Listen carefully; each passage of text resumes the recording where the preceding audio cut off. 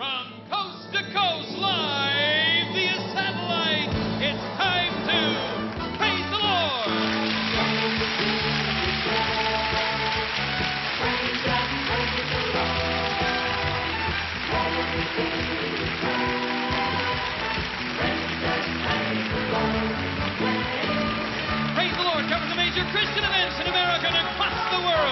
the capability of reaching over 500 million souls with the good news of new life in Jesus Christ. Now, from Melodyland Christian Center in Anaheim, California, we invite you to be a part of the world's largest prayer gathering.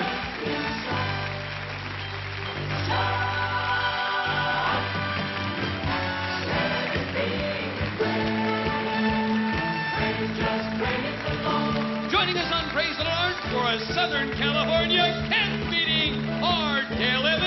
Evans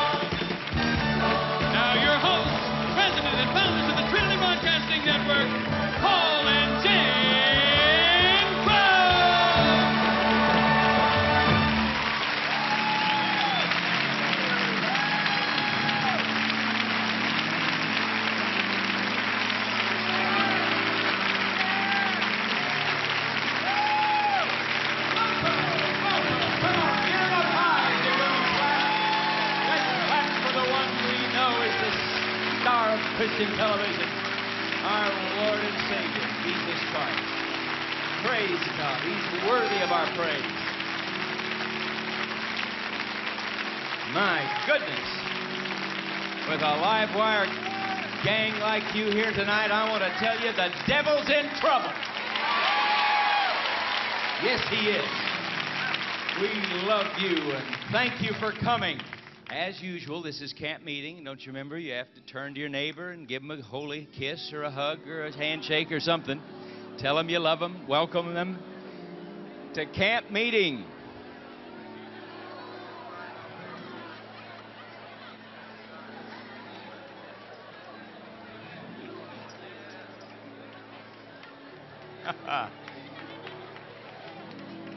It's wonderful to be a part of this great, big, beautiful family, isn't it?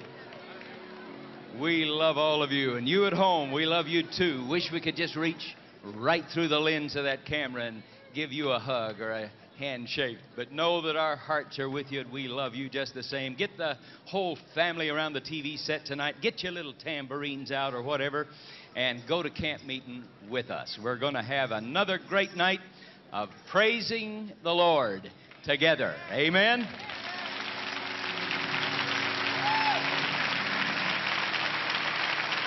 Let me just run down the row here. We'll meet everybody a little bit better and more perfectly a few minutes from now, but let's at least get, as we say, name, rank, and serial number and have everybody say hello. First of all, what a great host we have here tonight, Pastor Ralph Wilkerson. Thanks for opening Melody Land to us tonight. Thank you for bringing all of our friends here. Okay? Good to have and Jan here with us these great meetings. You go on next week. Yes, And that's good news, by the way. Pastor Wilkerson has said we can go on all next week right here live from Melody Land. It's just so good, we thought, why not keep going? So we're going to do that. Thank you, Pastor. We love you and appreciate you for that. Hello, Candi Staton Sussewell. How you doing, sweetheart? I'm fine. How are you? Doing fine. It's just good to be here tonight. The first time I've been out in 1984, and it's just expecting a great blessing from the Lord. Thank you. God bless you. Hello, Cuz. Hello. How you doing? I'm doing swell. Happy to be here, and I feel right at home with uh, the Crouches and also Pastor Wilkerson. This is actually where I got started uh, in singing and all that out here, so I'm happy to be back. Now, this great room is going to ring with music just in a little bit, and it's great to have Andrae Crouch and the whole gang's here tonight, aren't they? Uh, quite a few of them. They're out there. I see. Boy, drums, percussion. If uh, All those worldly instruments. if all those yes, all those really bad worldly instruments. if in the midst of all of this, a funny looking little blonde head pops up with a tambourine, that relax. That's Jan. She has always wanted to get in your group somehow, so she may do it tonight. It runs in the family, doesn't it, Jan? And then a little later, I understand Andrae has a very special surprise guest to introduce. Is that right? That's correct. And I'm looking forward to seeing them. I'm sure some of you might know um, uh, of them. This is a television first, isn't it? Television first. Oh, get set. This is going to be great. Jan doesn't even know who this is yet. It's going to be fun. It's going to keep your, you know, keep it a secret here. Dale Evans, we love you, sweetheart. You're so pretty tonight. I just may run away with you sometime. It is so good to be here at, at Melody Land. It's been quite a time since I've been here, but I was so blessed the last time. I remember, though, when I was singing here last time, a fire broke out.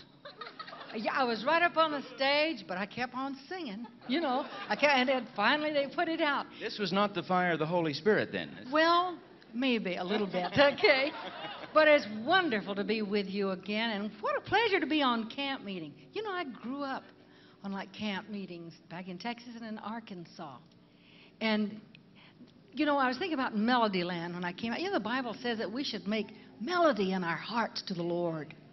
And this is a wonderful place to do it. Can't you feel the Spirit here? Praise oh, God.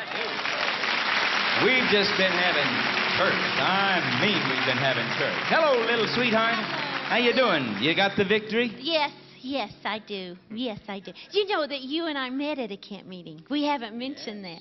My dad was was ministering at the camp meeting, and uh, Paul happened to be there, and um, he he was supposed to go as a missionary to Egypt, and because of Egypt closing uh, during some of the problems times about 27 years ago, he wasn't able to go, and he was resting in South Dakota after quite a time of itinerating to go to be a missionary to, e- to Egypt.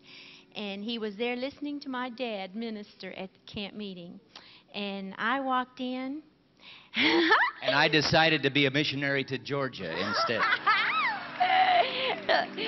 Did, you know, I, I don't know. Did you really think about marriage? Like, I, you know, the first time I saw him, when I first laid eyes on him at camp meeting, I said, you know, that is the man I'm going to marry. That's the truth. In fact, after I went home and I said to my mother, as we were driving home from the camp meeting, I said, Mother, I said, How would you like for me to be a missionary to Egypt? That was the first words out of my mouth. She says, What? And I explained to her that I had met the man that I really believed was going to be my husband that night. And it happened at camp meeting. So, girls, let's have all single girls raise their hands. all right, all single guys look around. it's a great place. I met my wife at a camp meeting. Yeah. Thank God for camp meeting. But it's a, it's a great 26 years later. 26, this is 26 years later. But today, let me tell you just something real cute that happened on the way over. Andrae's looking the crowd over. Remember, girls? Andrae's still single. I have a Some of them are standing up back there, Andrae. Uh, He's getting some glasses on to look the crowd over. Does anybody have one of those days when a couple things don't go right and you just. You know what? Today, some things were just not going right, and I began to cry. Just crying and crying and crying and crying and crying today. Crying and crying and crying. Talk, call a couple of secretaries at the station, just crying, crying, crying. Call my daughter in law, and I cried and cried. It's just one of those days. So on the way over, I was driving myself over, and I said, Lord, you know, I just, I just really need to hear a little word from you, something from you. And I looked up, honest, please and the tag in front of me. And they're here because I saw them turn into the parking lot. It has Re- R-E-V, Rev Ms. C. Where are you? Drove a Cadillac. But anyway, what I looked up and it said, there they are. I, I want to tell you how your car ministered to me because I'd been feeling sorry for myself and crying all day. I looked right up after I said, the Lord, help me. And the tag said, smile, Jesus loves you. You'll never know what that tag means you always need to put something great and positive on your car because, hey, Jesus does love me, and I can smile, and everything's okay. Thank you for that little word, okay? we love it. Pastor Schaeffer, as usual, is that long preaching leg working tonight? It's working very well, Paul. Um, if, if romance begins at camp meeting, Bonnie probably wishes she'd have come along. Hello, Bonnie. You know, hello, Bonnie. Yeah. Uh, speaking of, uh, of fire falling in here, Dale was talking about that the other night on the uh, answer set in Oklahoma City. Now, it's live there. You don't have time to rerun that tape. Light burned out up overhead, and showers of sparks fell down and caught my coat on fire. this was one preacher that was on fire. Are you still burning, Pastor? Now, that, that segment will probably never get on. You'll never see it. But uh, we were calm and cool, except my coat was on fire and the seat was on fire. And uh, fire fell from above, but I don't think it was from God. But, but tonight, fire's going to fall from heaven, and we're going to have a great time. All right, let's get ready to pray. Let me read a little from the Word. We've been reading out of the Psalms this whole week. Oh, don't those precious Psalms minister to us? I love them so. And Psalm 34 is a very special psalm to me. It's kind of what I sign in all the Bibles, and, and it's just been a special word from the Lord to me. Let me share it with you tonight. Psalm 34 I will bless the Lord at all times, His praise shall continually be in my mouth, even when things are going wrong, sweetheart. Yes, my soul shall make her boast in the Lord the humble shall hear thereof and be glad.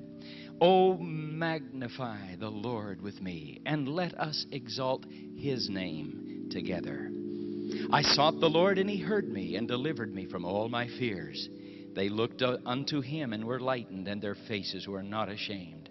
This poor man cried, and the Lord heard him, and saved him out of all his troubles. The angel of the Lord encampeth round about them that fear him, and delivereth them. O taste and see that the Lord is good. Blessed is the man that trusteth in him. O fear the Lord, ye his saints, for there is no want to them that fear him.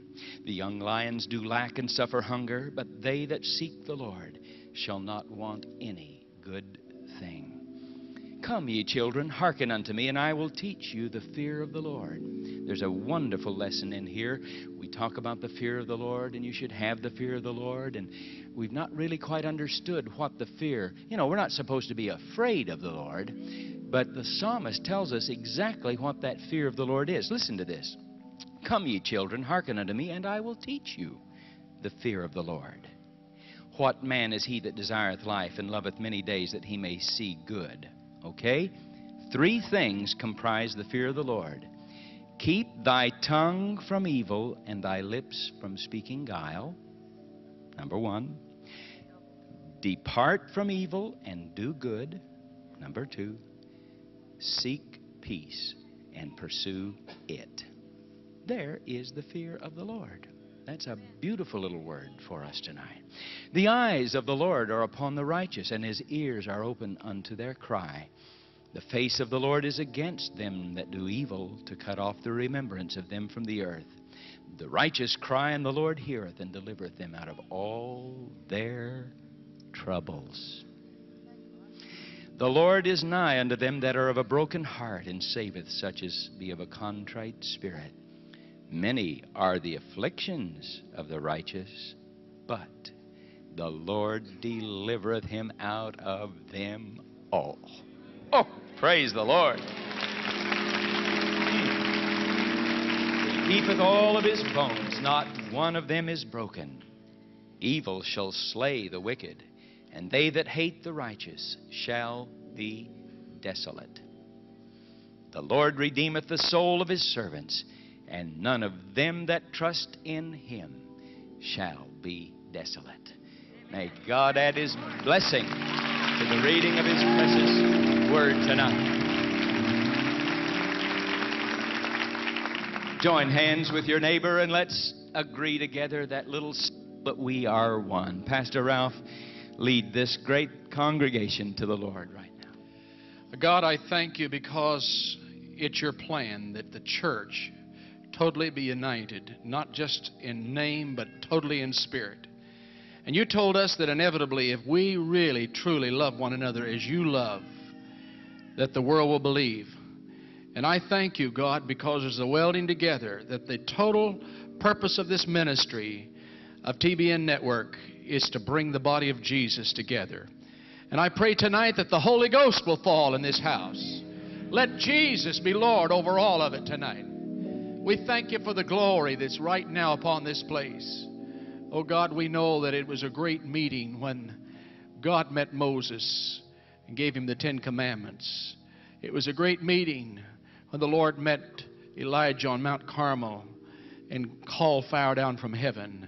It was a great meeting, Lord, when Solomon was in his temple and the Spirit ministered until he just couldn't stand any longer. It was a great meeting, Lord Jesus, when you met your disciples on the Mount of Transfiguration. But Lord, we know that the great meeting of the Holy Ghost following on the day of Pentecost, where the church started, is that same fire that burns in this house tonight. But the greatest of all meetings, Lord, is going to be that meeting, not just a camp meeting, but Lord, we're going to stay there forever. And that's when we see the Lord face to face. And we pray tonight the glory of God will fall upon this house. Let every person here see Jesus in his fullness. In the name of the Lord. Amen. Amen.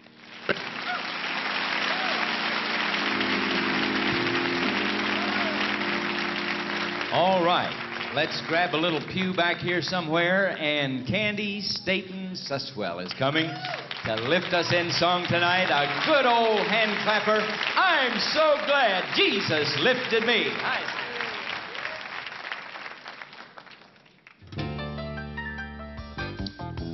We're going to begin with an old song that I'm sure everybody knows.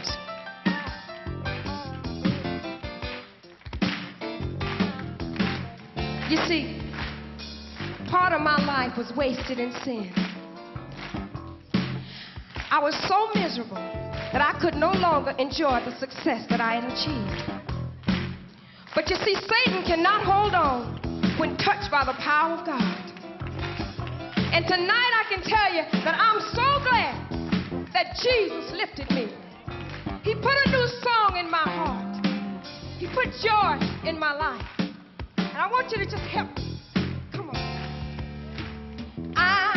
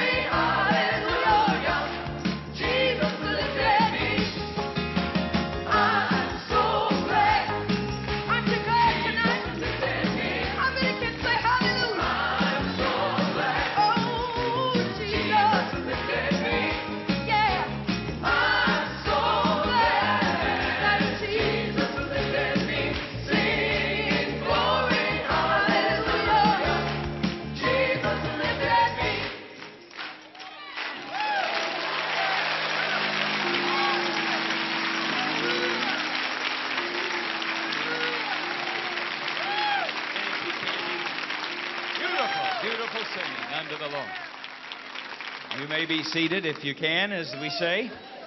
Jan Honey, come and bring our beautiful black cousin, Andrae.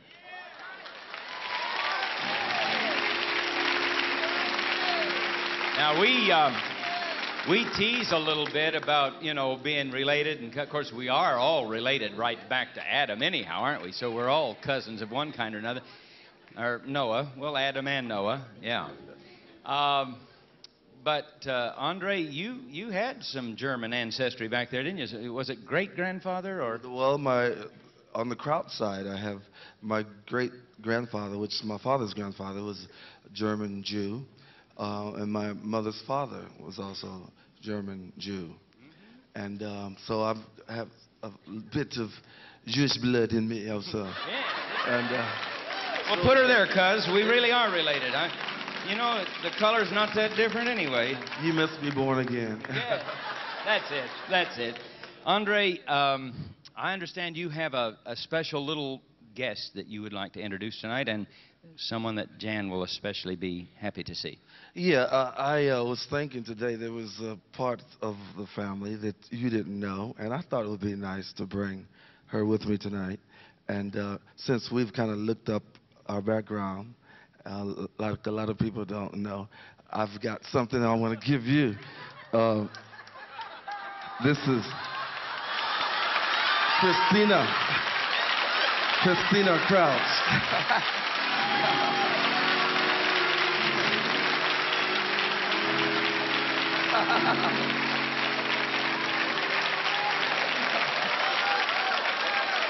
I mean, she might as well get some black in the family, right? They always say we're related now. Okay, how, how you gonna do her? Take her everywhere you go. this is Christina. These things are really, I, I, I didn't mean to get off into that, but uh, since we always say that we're related, I would say, well, let's see how she feels about carrying this little doll around with her every day. But these, these are some amazing little things. You know, they have the little adoption papers. I got a little son named uh, Reggie Stan Crouch. And, uh, yeah, that's Christina. yeah, Christina Crouch. Christina Crouch. I, I finally have my little girl. we wanted Brandon Paul to be a little girl, but now we have Christina Crouch. Welcome to the family. Yeah. Does she jump? Yes, I see. Oh, she does wonderful. Oh, that's great. Andrae, we love you and glad to have you and all the gang here tonight. Give us a little word of blessing and then let's sing and make melody unto the Lord. Tell Andrae and the whole group you love them tonight. Welcome them to camp meeting. Thank you. I guess my gang will be coming. Can everybody say praise the Lord? Say it again. Praise the Lord. Truly, I'm grateful for this wonderful opportunity to be able to worship the Lord through song and to be gifted of the Lord, to be able to sing music and play music unto Him.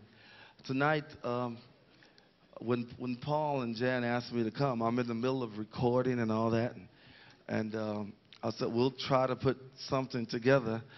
But uh, they look pretty good, don't they? We're all colors and everything.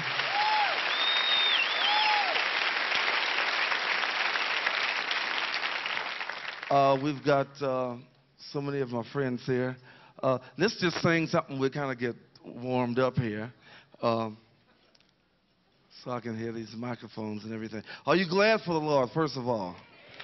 See, first of all, uh, I'm, I'm right at home when I'm in Melodyland because uh, I see Brother and Sister Tillman in the audience. And we used to come here with the Teen Challenge Choir many years ago and uh, at the David Wilkerson rallies, and we saw thousands of souls saved.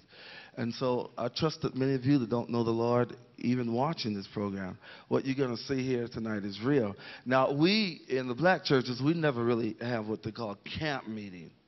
Uh, what would we call it? Revival. Yeah. No, it's right. Uh, our camp meetings, uh, usually it costs to go to a camp meeting. Was outright, I mean, your lodging and all that. Was we would go to a little storefront church and things like that. And that's where we got all our rejuvenation. So our camp meeting songs might be slightly different, but the spirit is the same. So we want all of everybody that's here tonight to just worship the Lord. And uh, let's start off with a, a song that um, my first song. You can call it kind of camp meeting style. And I'm to ask some of the singers. They never know who I'm going to pick or choose, and I just go and they got to be ready. Got to be ready to sing. The blood. Oh, the blood that Jesus that He shed for me. I know it was way back, way back on that cross of Calvary. Don't you know that same blood? It gives me strength. Oh, from day to day, and it will never, never, never lose, never lose its power. Crystal, sing that verse.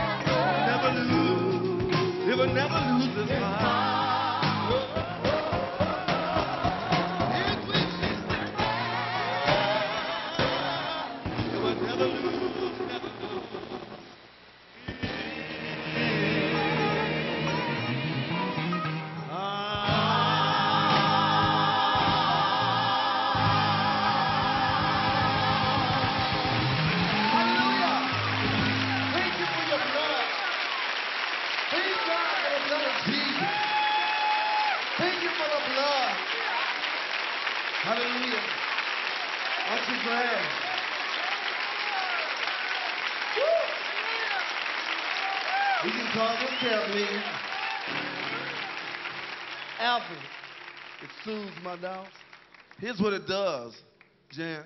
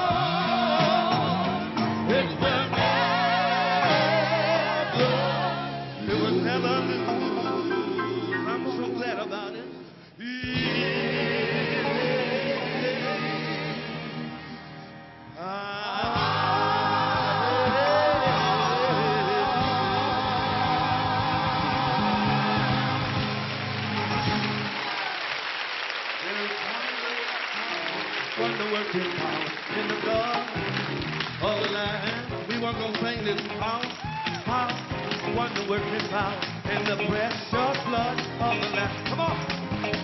Power, power, wonder working power in the blood of the Lamb. Hallelujah. There is power, so glad, wonder working power in the precious blood of the Lamb. Everybody sing, there is power, power, wonder working power blood. You won't find it anywhere else. In the blood of the Lamb. There is power, power, power, wonder working power in the blood of the. Linda, tell me. Would you be free from your burden sin? There's power in the blood, power in the blood. And would you are evil of victory with? There's wonderful power in the blood. Sing one more. Oh, there is power, Power, wonder power in the blood. There's wonder working power in the precious. If you need praise, there is power, power, power in the the. Power, power, in the of the. Oh, oh, Lord, send the power. Lord, send the power. Lord, send the power. Lord, send the power. Send your power.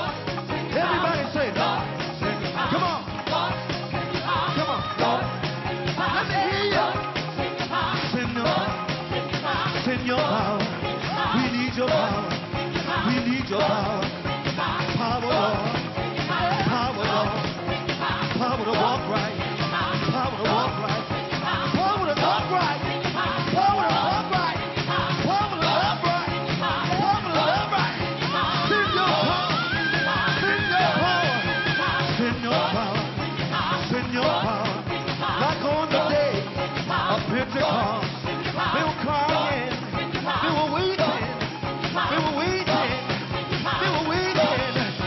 Send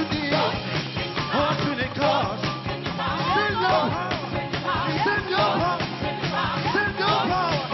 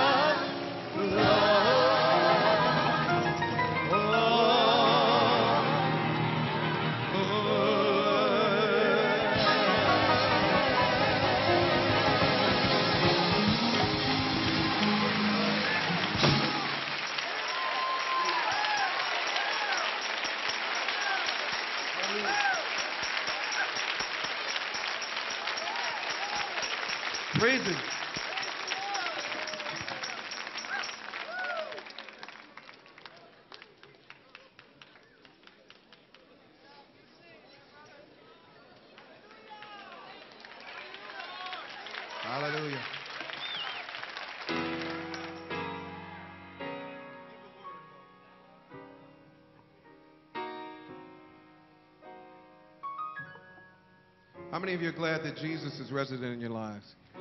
Amen. You wouldn't have it any other way. You're not ashamed tonight? You know, the TV cameras are on you.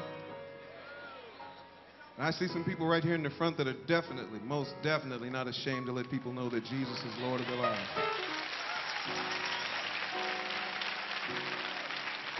Well, Andrae wrote a song and we'd like to do it for you tonight. It's entitled, We Are Not Ashamed.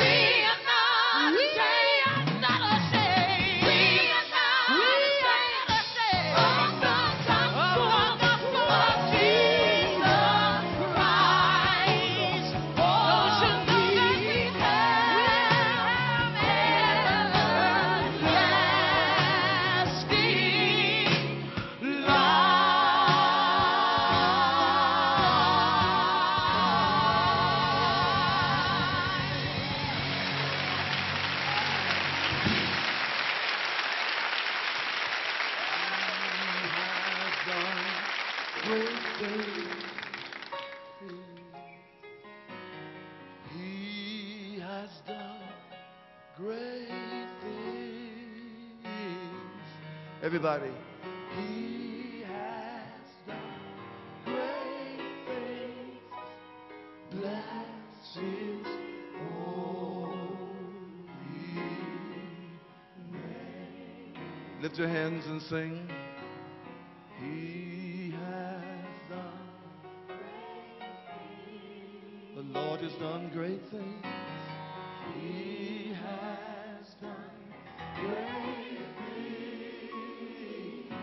Back over your life and you can say,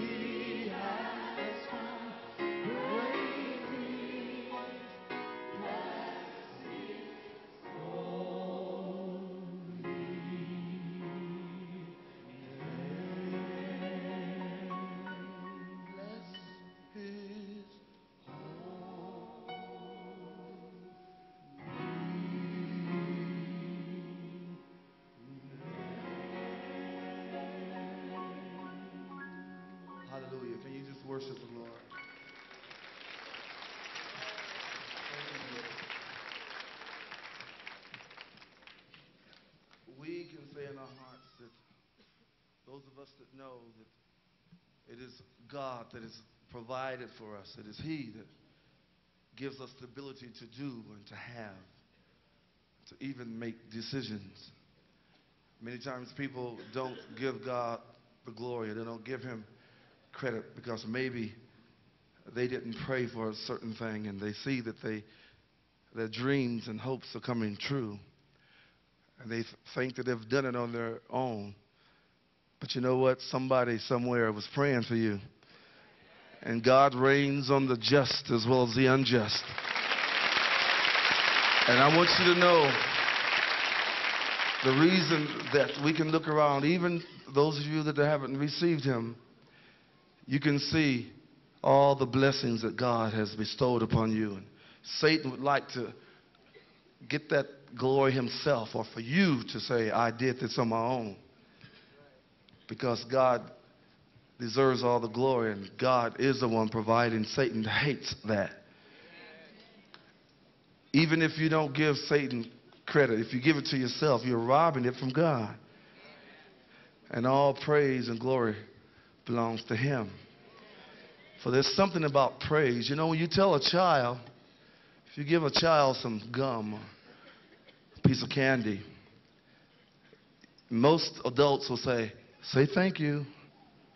Not because we need to thank you or we want them to really know that we are so good, and not because we thrive on those thank yous, but it's to teach that little kid that that adult gave them something they didn't really have to do. They did something because maybe they just loved them. They liked their smile. And they are to respond to that which was given to them that they didn't even earn. So it is with God. When we get our priorities straight, when we take focus off of ourselves, we learn to respond to God because of His love. The Bible says we love Him because He first loved us. We see what He's doing. We see that even though we didn't praise Him or, or worship Him, He still poured out Himself. He still gave. He still provided. Then all of a sudden we're supposed to turn around and say, You love me. And I love you for loving me in spite of myself. And tonight, if you don't know him, just take a look around and you can see God's blessings in your life, even though you didn't realize it before, to have health and strength. Those of you that are watching this program, God loves you very dearly. And it's so beautiful to give that love back to him. A song called To God Be the Glory.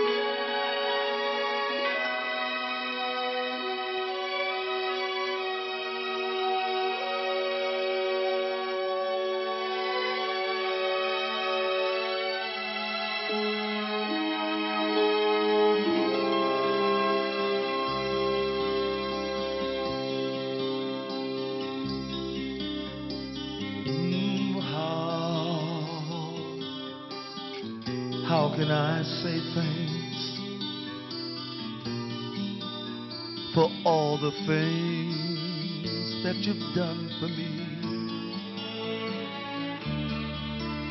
Things so undeserved, yet you gave to prove your love to me. And the voices of a million angels could not express my gratitude. All that I am and ever hope to be. I owe it all to the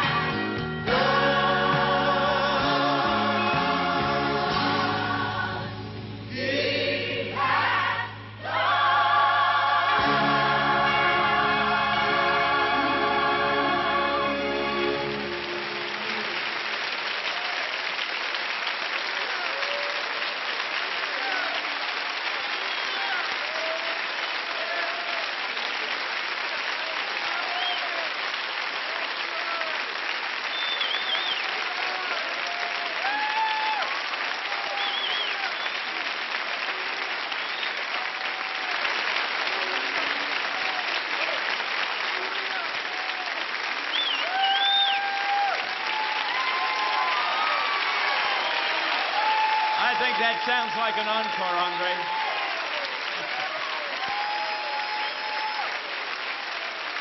You know, of all the songs that the Lord has given Andrae, there is one very, very special one to Jan and me. This song, and I just whispered to Andrae and asked him if he could possibly sing it for us, and he said they could. Jan and I and all of you have gone through many, many trials and tribulations these past 10 years as we've seen God bring this great television network into being. And Andrae, I will always thank the Lord that He allowed you to write this beautiful song that has ministered to Jan and me probably more than any other song you've written through it all.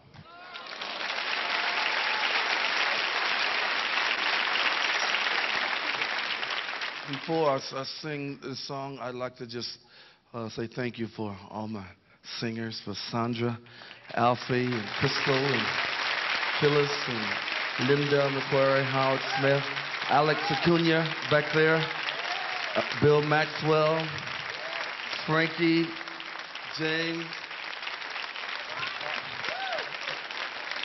Harlan Rogers on keyboards, and Welton on bass. Frankie Cole.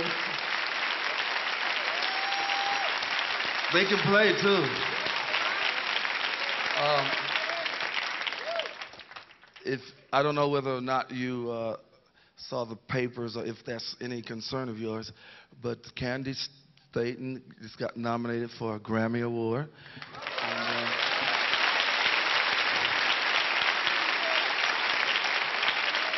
my sister Sandra Crouch made her first uh, album, and it's my sister uh, and my dad's choir, and it's really anointed. If you haven't picked it up, get it. And she just got nominated for three Grammy Awards. First album, Sandra. I'm so proud of her. And all these people here are just uh, multi-talented people, and we work together in perfect harmony. And I get so much from them, you know, and uh, they're right here. I, I love them so much, and I think they know that. And we've been through a lot of things together, and each of them. We're not just up here hooping and hollering, but we know the Messiah, and we we are always praying for each other. When this song was given to me, um, I didn't really know how much I was going to have to use it. But, and I still don't know how much more I'm going to have to use. But I'm ready. I just want to be in the place that wherever God takes me, I want to be just there to go through it or to be able to say yes in every situation and not to complain, but just to go through. And we all got to do that, you know, because he don't have no favorite persons. Listen, eat that.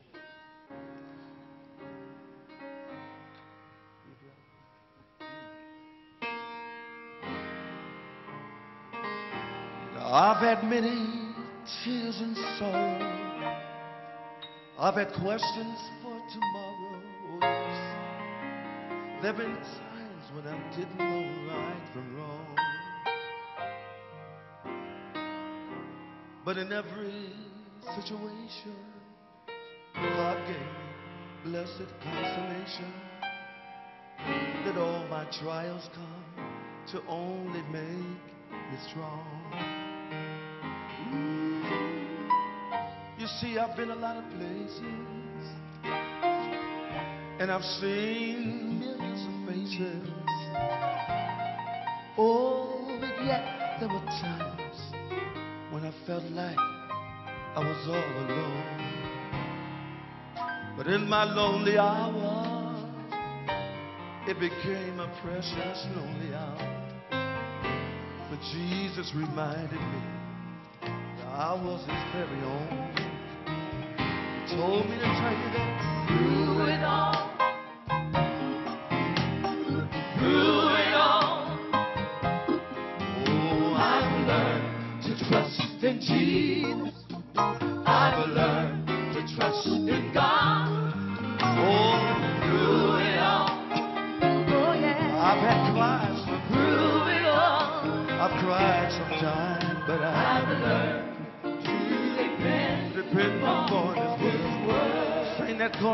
once again, I say, through it all.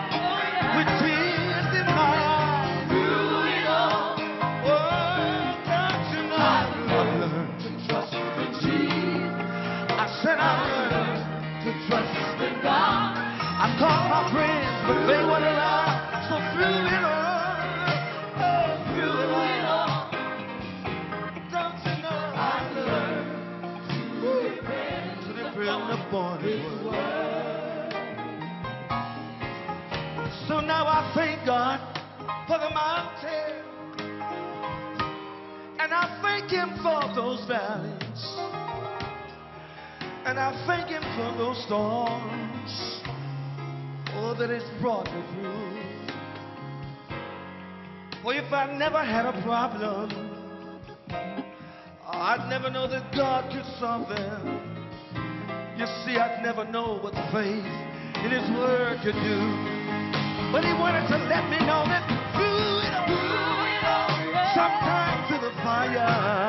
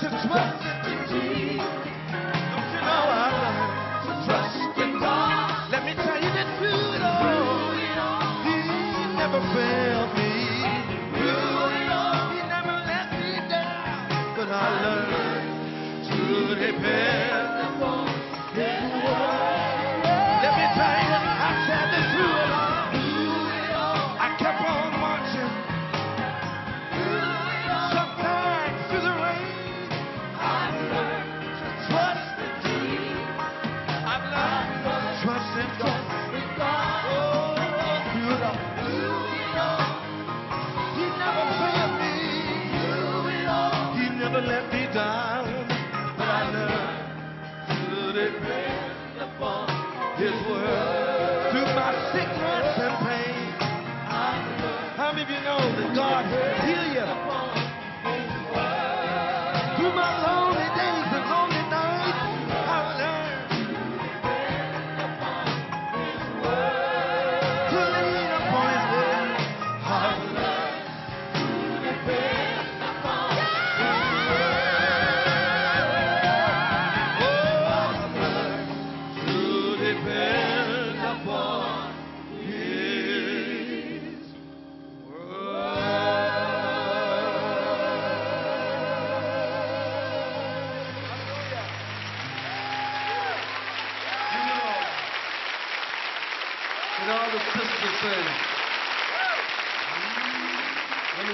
this was brutal,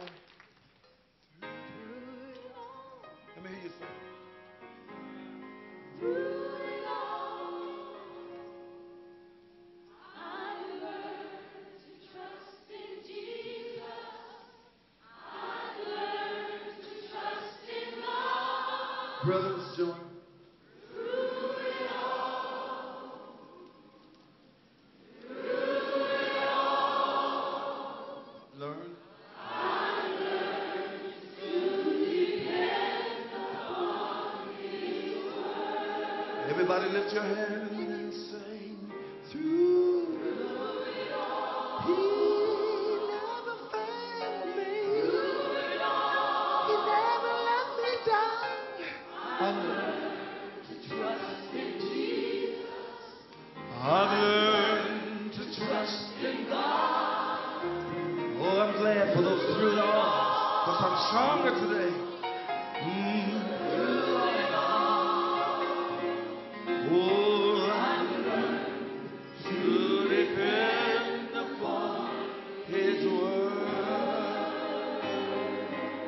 gotta go. But there's a chorus we sing in our little storefront meetings.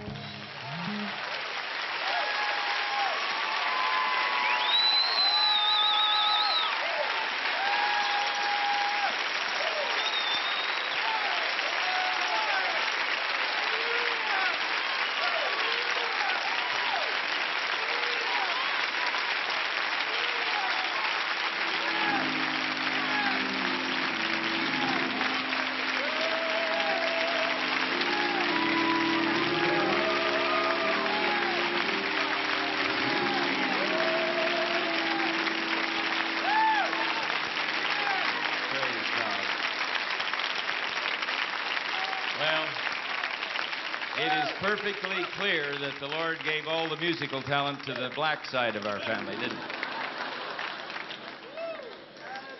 God bless Andrae and all of the young folks. We love them. Let's give them one more great big We love you move on out.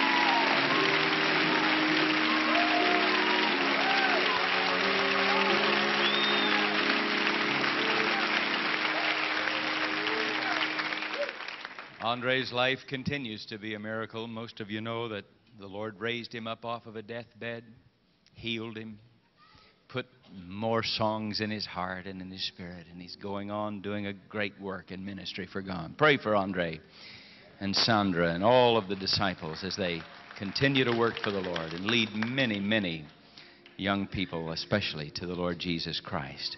Jan, honey, bring our very special friend and guest. We don't even count Dale Evans a guest anymore. She's part of this family. And we love her very much.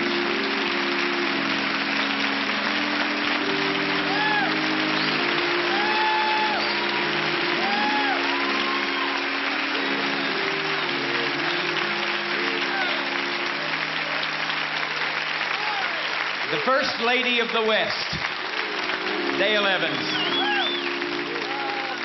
your heart. You know, I am plain spent. Isn't he something?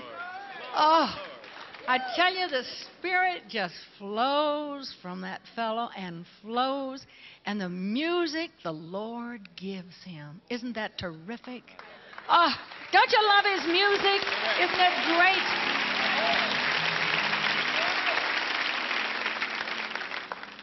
You know, God is so good to us Christians to give us a place like this to be together and to worship Him freely, you know, and to really express our love to the Lord however we want to, whatever is comfortable with us, the way we feel it.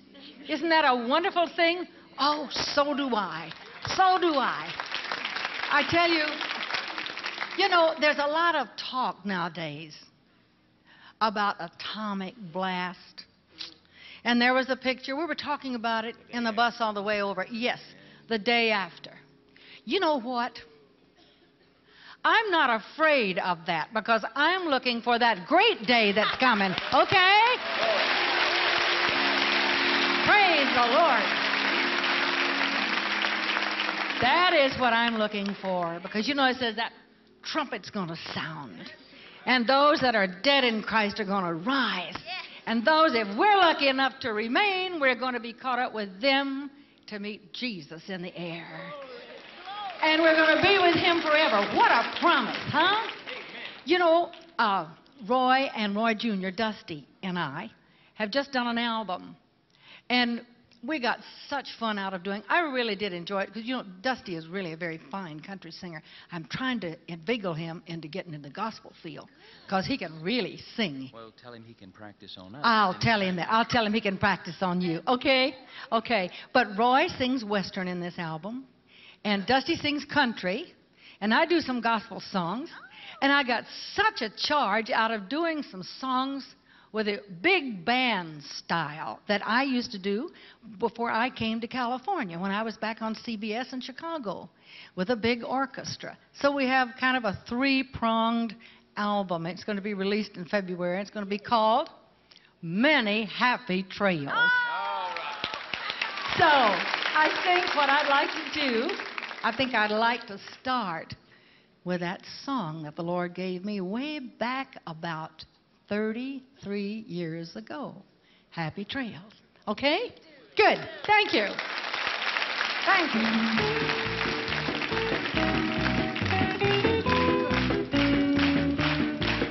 Happy trails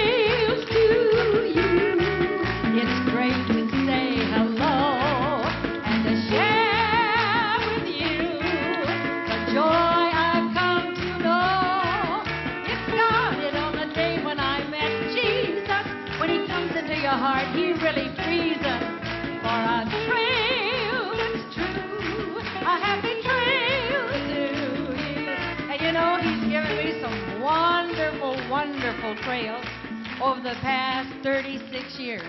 It was about 36 years ago, come next month, that I gave my life to Jesus Christ in complete and total commitment, every area of my life. And so, that's why I look forward to that great day. You know, I've been a, Roy and I've had many trails of happiness and trails of achievement by God's grace, trails of sorrow, trails of sunshine. But what a wonderful thing to look forward to that great day that Christians have. See, they never, when they talk about all of this doomsday thing, that's what's going to happen, they never address us at all. Do you know that? Because we've got a promise they don't have. Okay? So I'd like to sing this called It's Going to Be a Great Day. Okay? Thank you.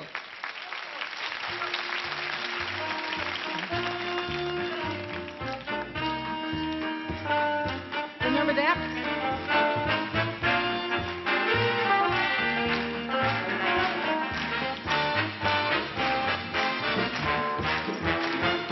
When you're down and out, lift up your head and shout. It's gonna be a great day. Angels in the sky promise it by and by. It's gonna be a great day. Gabriel will some early morn. Will hear his. It's not far away. Lift up your hands and say, There's gonna be a great day. When the roll is called up yonder, when the road is called up yonder,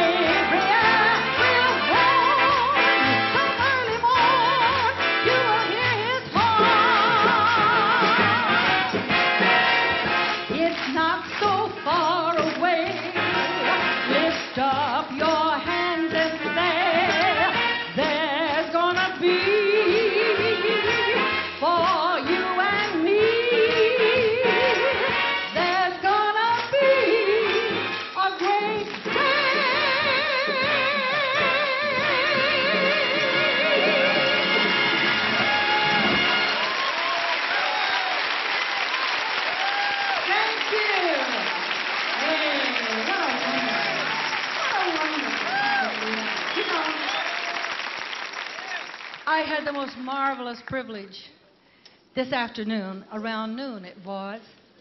I had a privilege to share my faith with a man they say that is on his way out with cancer.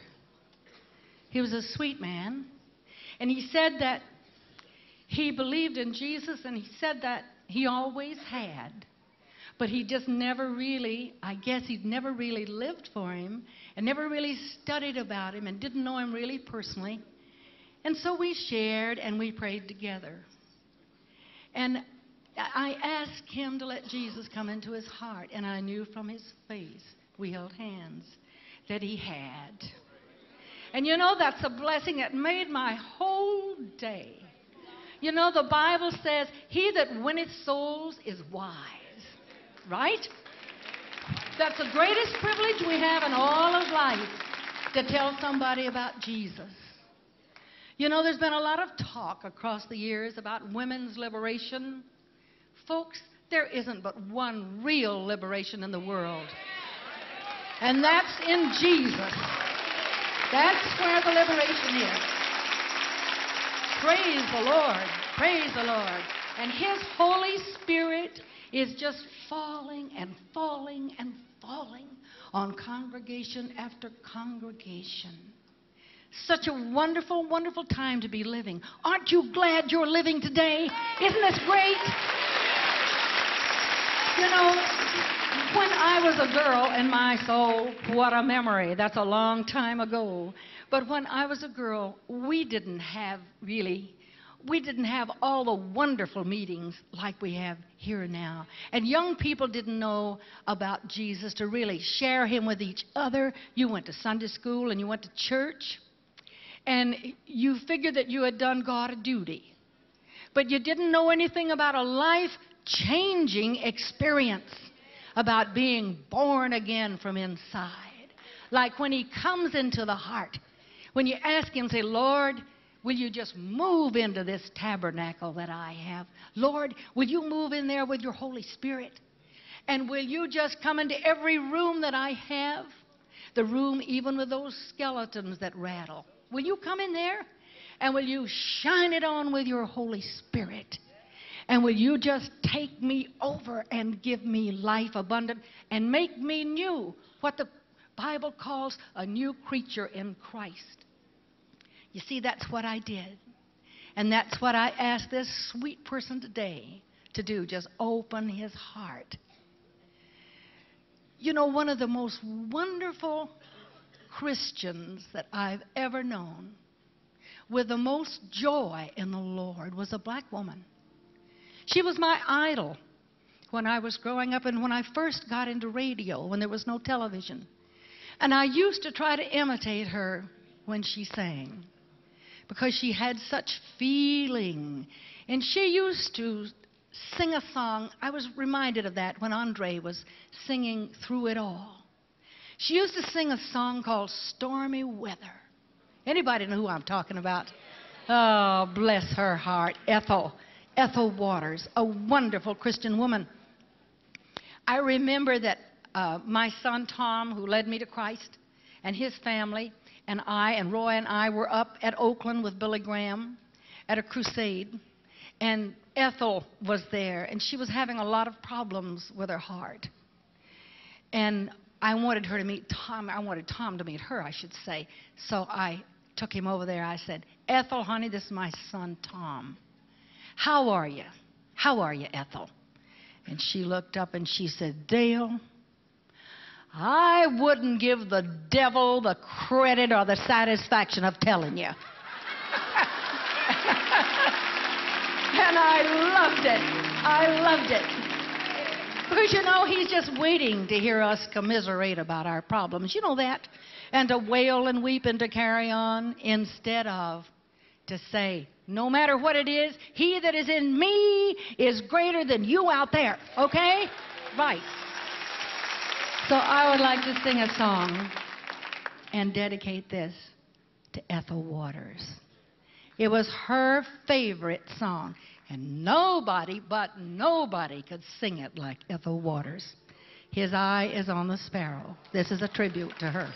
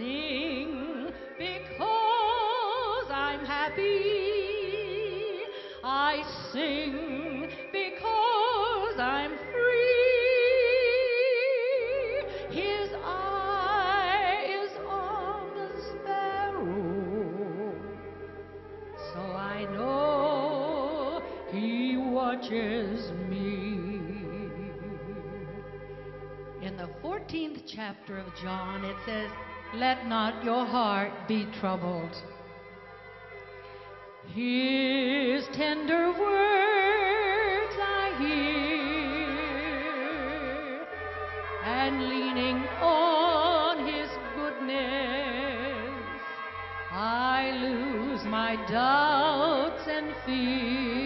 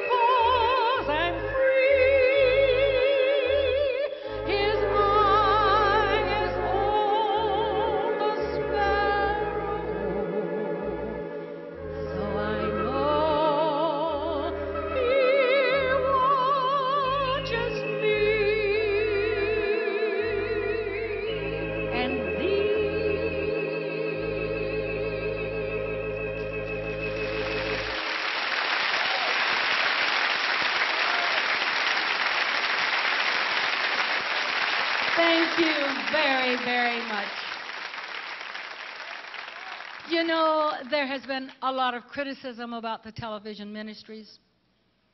The devil, he doesn't like that. You know that? He doesn't like it because a lot of folks are getting saved and delivered. And so he is really angry. And so he uses people. They don't realize they're being used by him. You know that? We should pray for those people. You know, I get real mad. I get real angry when I read things like that. And then I say, Lord, I know that you're the judge, and I'm not to judge. I'm to pray for those people and to love them. But oh, Lord, it's hard. But I, you know, and a lot of them get mad because they think, well, you take money for the television ministries that should be going to the local church. Hey, listen, there's a many a person in the local church because of the television ministries. People hear about Jesus. And then they want to get some Christian companionship and to grow and to study and to read God's Word. So, not too well, it's been quite a while ago, I learned a little song that I really captured my ear. The Imperials did it. And it was called Cast Your Bread on the Water. So I would like to sing Cast Your Bread on the Water. Now, I have goofed this up about a dozen times. But, you know, we're among friends, ain't we? Huh? Okay, all right. Okay. So I'm going to try Cast Your Bread. This is pretty honky for a grandmother to sing. I'm going to do it anyhow. Okay? All right.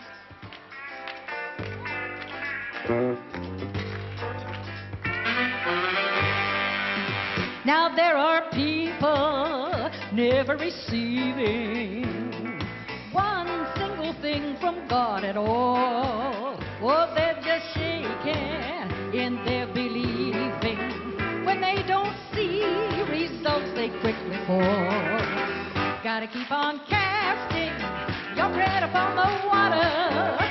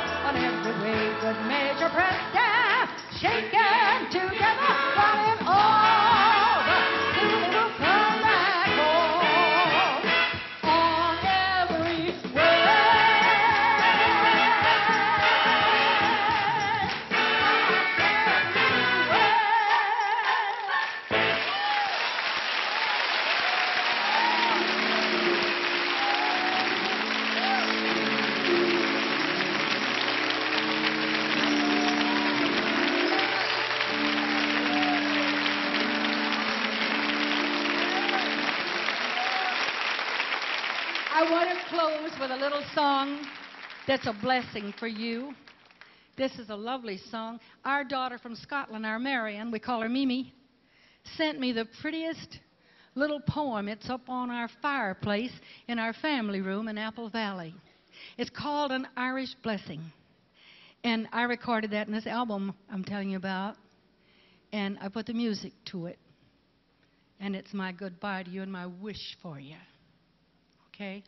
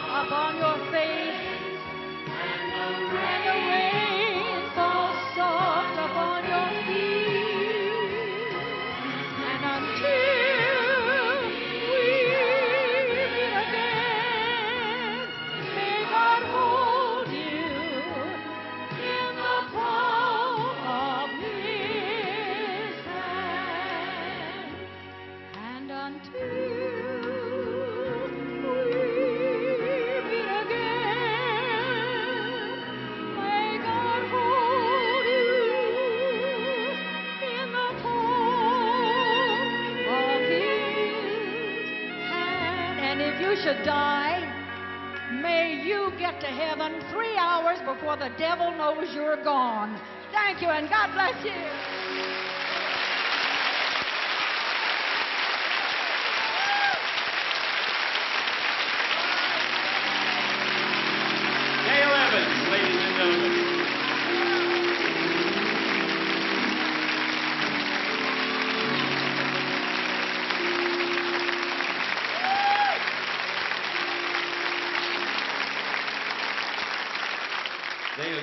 something that struck a little fire in, in this old TV man's heart. Yes, Christian television is building the local church. In fact, I, now I haven't taken a poll, so I don't know what the results will be. But I'm going to ask you a question. And long shot camera, get ready to get a picture of this great auditorium. How many of you in this room tonight, either for the first time or from a backslidden condition, came back to the Lord Jesus Christ through Christian television? Let me see you. Hold them up real high. Stand up. Yeah, just stand up. Stand up all over this place. Look at that. Look at that.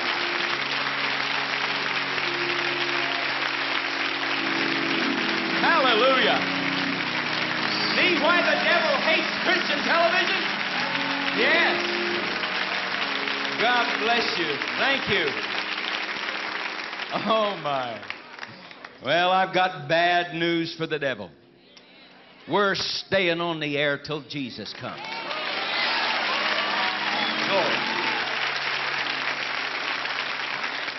Just before Pastor Schaeffer comes to open the Word and give us a good old camp meeting message, I know he's got a word from the Lord in his heart for us. Candi Staton is coming back to sing a beautiful song. Where could I go but to the Lord?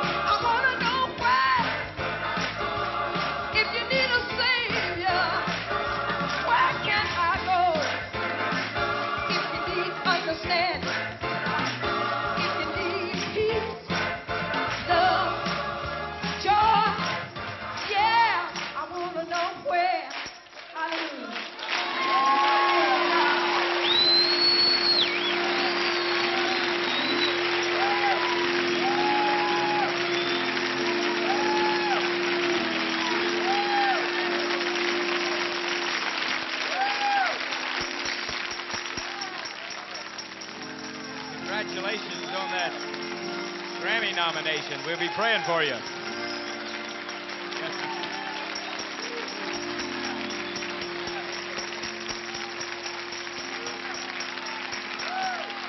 It never ceases to amaze me the way the Holy Spirit has put together the team that we call Christian television here. The Holy Spirit's doing it, you know. I'm not smart enough to put this together. I'm just glad He let me be a little part of it along with you. And I'm excited about what He's doing. I even know the Lord picked just the right cities for the first seven stations because He knew in Oklahoma City there was a big, tall Okie out there that could just preach the house down.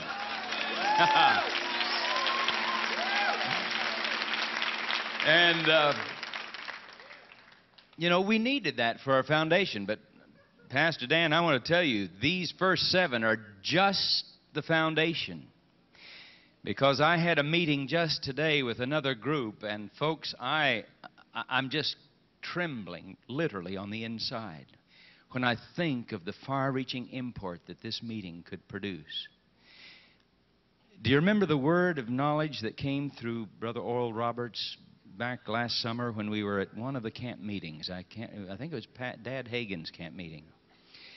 And the Spirit of the Lord came upon Brother Roberts, and he said, I, I, I see, and he hesitated a moment, but then it came. He said, I see a hundred stations, coast to coast, the great Christian network that'll usher in the coming of the Lord Jesus Christ.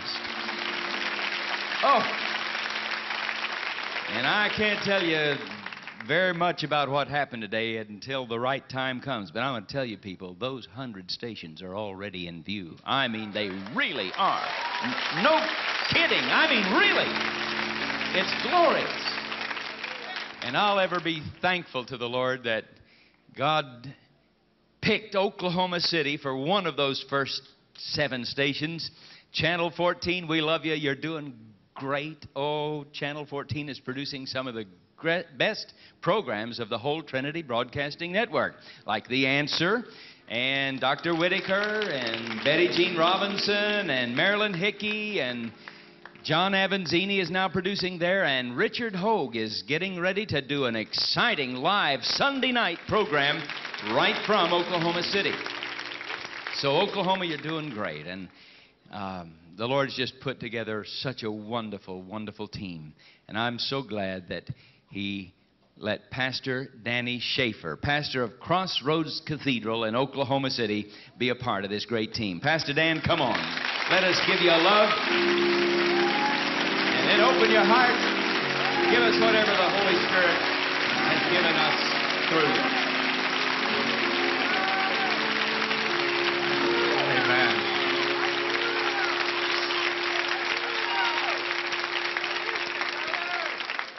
Thank you so very much. What a gracious welcome, and how delightful it is to be in Melody Land Christian Center.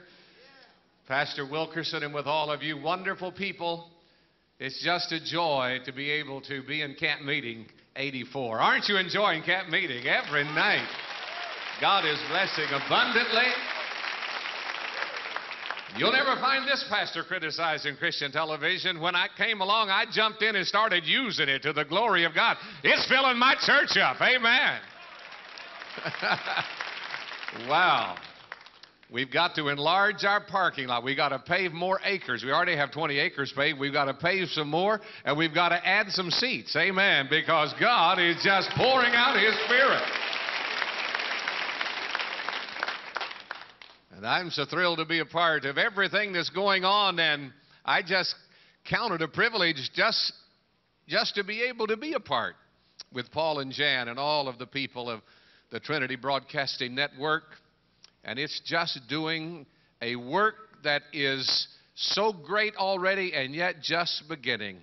The islands of the sea and it's opening doors that never were opened before. I just received word from Pastor Hale up in Cincinnati, Ohio on March the 6th, the 7th, and the 8th.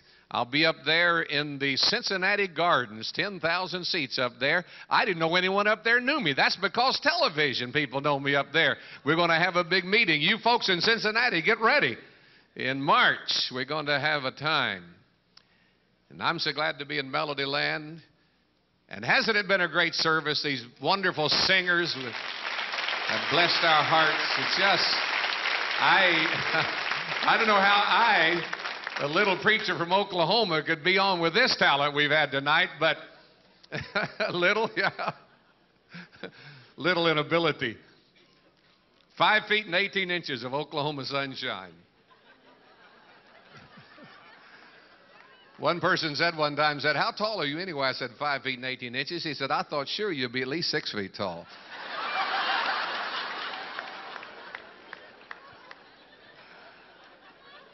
Little did I think when I was a boy and stole milk bottles off my mother's porch to sell for a nickel. Now, that goes back further than some of you can remember. How many think milk only comes in pasteboard cartons? Sold it for a nickel and went down to the Blue Moon Theater. And I had to do it secretly because my folks wouldn't let me go to the show to watch Roy Rogers and Dale Evans and Trigger.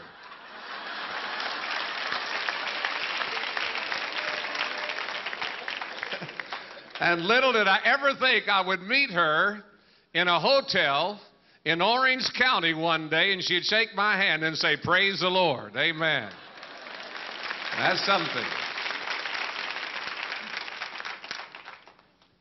And they Dale and Roy have been exponents for Christ, outspoken, wholehearted, committed Christians since the days when it wasn't popular for the celebrities to be Christians. They have had a testimony, and because of their testimony, it closed a lot of doors, but God opened a lot more. Amen. Seek first the kingdom of God and His righteousness, and all these things will be added. And they're doing better than ever. God is changing my life. James Robison was, Robison was with us at Crossroads Cathedral Sunday night. We had over 7,000, probably more. I want to be conservative.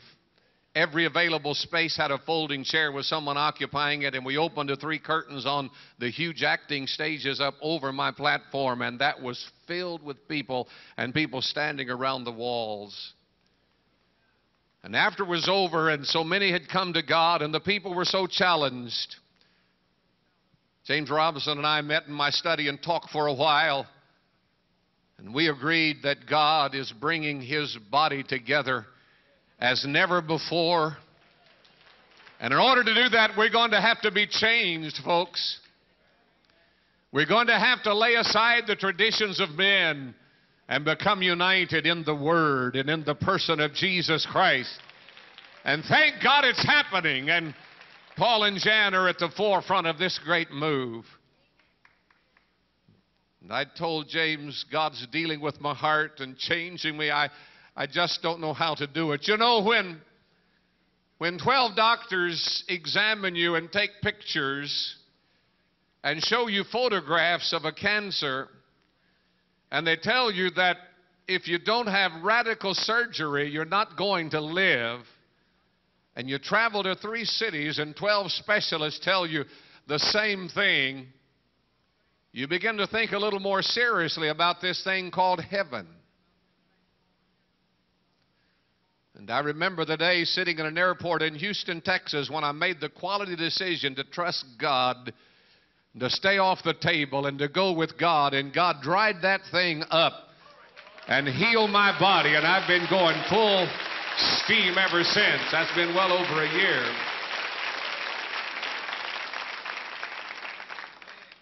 But you think of things in those days that sometimes you don't have time to think about when your full strength is there and you're not thinking about it.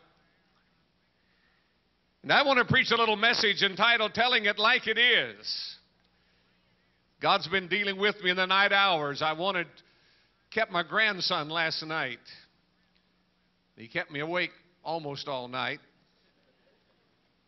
By the way, it's 10 till 11 Oklahoma time. You folks are fortunate out here.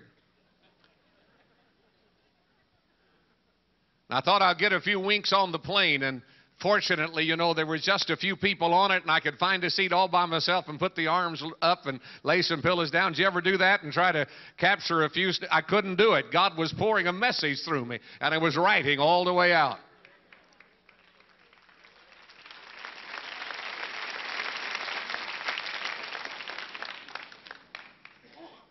This is a message that I believe can gain response from those viewing by television because you can do it simply by making a call and without being seen. But I believe people in this sanctuary are going to make a new commitment and a change to God as well. There's one thing, ladies and gentlemen, we dare not guess about, and that's eternal life. You might be nebulous about a lot of things of life, but when it comes to making heaven, you don't want to guess about it. I must know.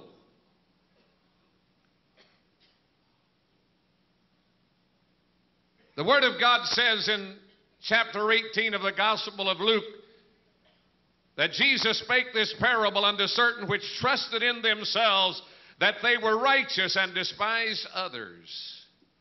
Two men went up into the temple to pray, the one a Pharisee and the other a publican. The Pharisee stood and prayed thus with himself God, I thank thee that I'm not as other men are, extortioners, unjust, adulterers, or even as this publican. I fast twice in the week. I give tithes of all that I possess.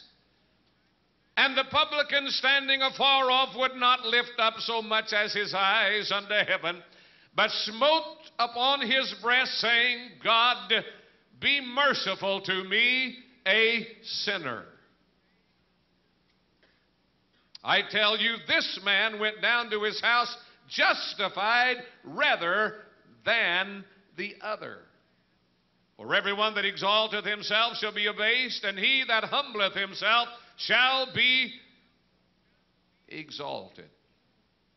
When I was a young preacher, a younger preacher, better qualify that. The Holy Spirit taught me a valuable lesson because I had become involved with a group of other preachers who, along with myself, had become critics of certain successful ministers. We accuse them of being successful because they let the standards down and were not spiritual. When the whole basis of our criticism was jealousy over those who were doing better than we. As I prepared a message using as a text Galatians chapter 5, verses 19 through 21, where the Word of God said, For the works of the flesh are manifest, which are these adultery, fornication, uncleanness, lasciviousness, idolatry, witchcraft, hatred, variance, emulations, wrath, strife, seditions, heresies, envyings, murders, drunkenness, revelings, and such like. They which do such things shall not inherit the kingdom of God. And the Holy Spirit said to me, Read it again. Now, I don't mean I heard an audible voice. He said it in my spirit. How many know what I'm talking about? Read it again and listen. We so often read with our eyes, but we don't read with our minds and our spirit. And we don't hear with our ears. And I reread the passage and discovered that I was guilty of nine of the listed sins that keep a person from inheriting the kingdom of God. And I was a preacher.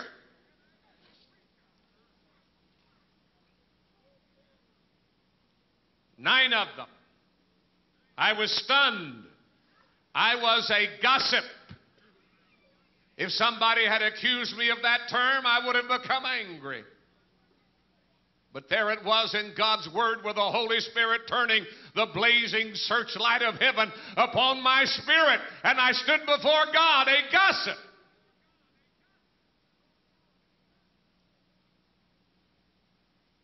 I was guilty of hatred, guilty of bringing variance, emulations, wrath, strife, sedition, heresies, envyings, and even I was a murderer because First John tells us that if a person hate his brother, he is a murderer, and ye know that no murderer hath eternal life abiding in him. Are you listening? Do I have your attention? This brought up a very serious question to my mind. Was I a religious sinner? Was I really born again? Recently, as I studied the two kinds of people that are not going to make it to heaven, I found that one is the sinner who refuses to confess his sin and admit who he is, and the other is the self righteous Pharisee who claims hypocritically to be something that he is not. And I've made up my mind I don't want to fall in either one of those categories. I want to be saved.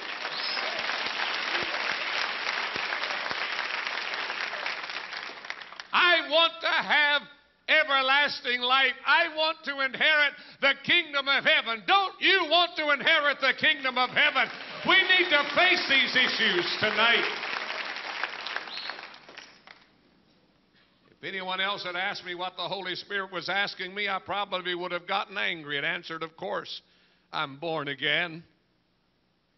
But I wouldn't have been telling it like it was. God's word already had condemned me. I could not inherit eternal life with all of those sins unrepented in my heart. And there's a scripture that bears mentioning right here. Jesus said, Many shall come to me in that day, saying, Lord, Lord, in thy name have we not cast out devils, and in thy name done many wonderful works? And then will I profess unto them, Depart from me, I never knew you. Sobering thought, isn't it? People that had been actually actively engaged in gospel work, in deliverance ministry, banking on that to get them through. And Jesus said, I never knew you.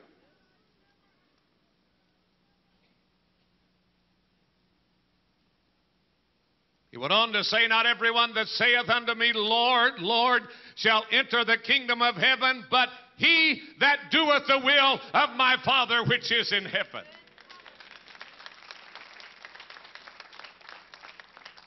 Now, ladies and gentlemen, it's not enough just to want to miss hell. Everybody wants to miss hell. Anybody with enough brains to keep his ears apart doesn't want to go to hell. You know what I'm saying? Nobody in his right mind wants to go to hell. But the issue is not just wanting to miss hell. The issue is whether or not we're willing to subject ourselves to the lordship of Jesus Christ and fit in with his eternal kingdom. Because eternity is a long, long time. And let me remind you that hell is not so much a place where God is going to gleefully punish the sinner. Do you think God's going to get some kind of kicks out of roasting you like a wiener? Over the fires of hell until your skin bursts open. That's not the kind of a God that I conceive of. I'm sure that hell is a place of torment. That's not my subject tonight. But hell is not nearly so much a place uh, of tormenting the sinner as it is of an isolation ward uh, where those that are not willing to comply with the will of God and the Lordship of Jesus will be ostracized from those who want to do that. So, through all eternity, you and I, if we're going to be willful sinners, we'll not infect the others that live in the presence of God forever. Now, that's a profound statement. Hell is God's isolation ward. It's not because he gets some kind of glee out of seeing you punished. But there has to come a time when those that refuse to make Jesus Lord and live by the laws that will bring harmony to the whole family of God universally have to be separated from those who do want to follow God and live by His law. It's time we pay the price and live like God intends for us to live. Are you hearing me tonight?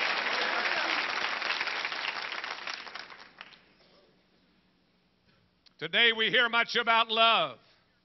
And it's wonderful, and much about forgiveness and understanding and acceptance and agreeing to disagree and freedom from guilt and acceptance just as we are. But not much about sin and the need for repentance from sin. And we have compiled a neat list of words to explain human problems in an inoffensive, unobtrusive, acceptable, non alarming way. And our pulpits have become so hygienic and squeaky clean that our audience can hear sermon after sermon without experiencing conviction. Is this good preaching? It's heavy, but it's what we got to hear. Not necessarily what I like to preach, but it's what we must hear. God is changing my mind and changing my life. We've got to get back to telling it like it is if we're ever going to come to the knowledge of the truth and get together in the unity of the Holy Spirit around the will of God. We've got to be people that are willing to do God's will.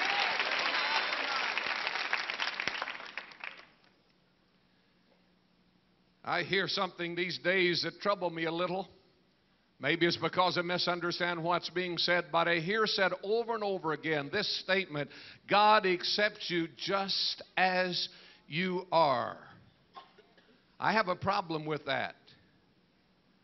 Now, if we mean by that that God loves you in spite of the fact that you're a sinner and you've gone away from God and He will forgive you if you come to Him confessing and repenting, then I buy that because God so loved this world, He gave His only begotten Son. But if that means God accepts you no matter what your mindset is, uh, and no matter whether you're willing to change or not, He takes you just like you are and makes you a child of God forever. I've got a problem with that, mister, because someone uh, is out of the will of God and it's not God, and it's you and I that have to move if we're going to be in God's will. We've got to repent of sin.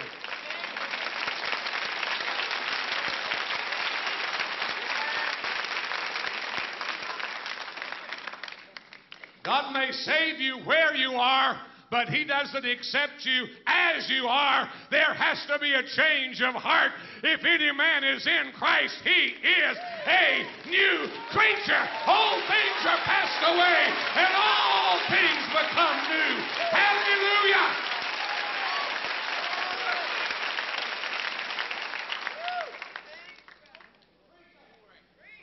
Hallelujah. First John says that he that committeth sin is of the devil. Whosoever is born of God doth not commit sin. First John 3 and 9. That means he is no longer a habitual sinner.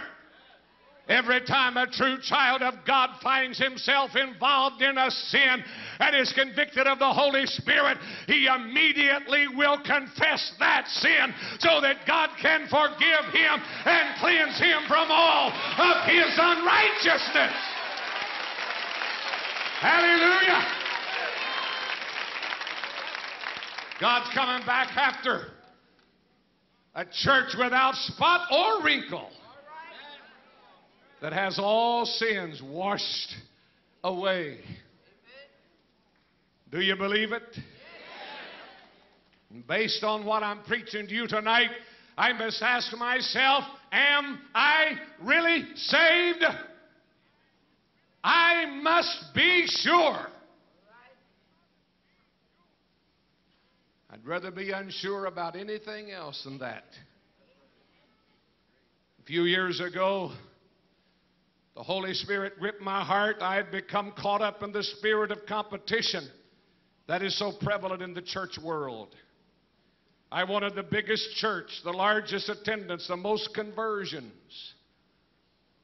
And in my, it's confession time, I suppose, but God has been changing my heart. And in my misguided zeal, I sought ways to pad my Sunday school attendance in order to report big numbers and look good. And I used gimmicks and extensions and reports. And mostly I used my tongue and imagination to report big numbers. Never grew, but everyone thought I was. And while in fasting and prayer for more power and success, but in the reverse order, I was more interested in success than I was power. The Holy Spirit spoke to my spirit, I cannot bless you. Why, Lord? I questioned. The Holy Spirit said, not audibly, but to my spirit, because you are a liar.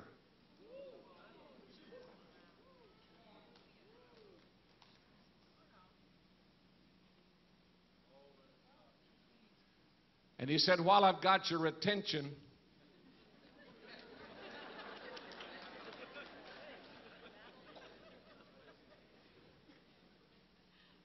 the sermon illustrations you've been using that sound so great that you've added so much to about your personal experiences, there lies too.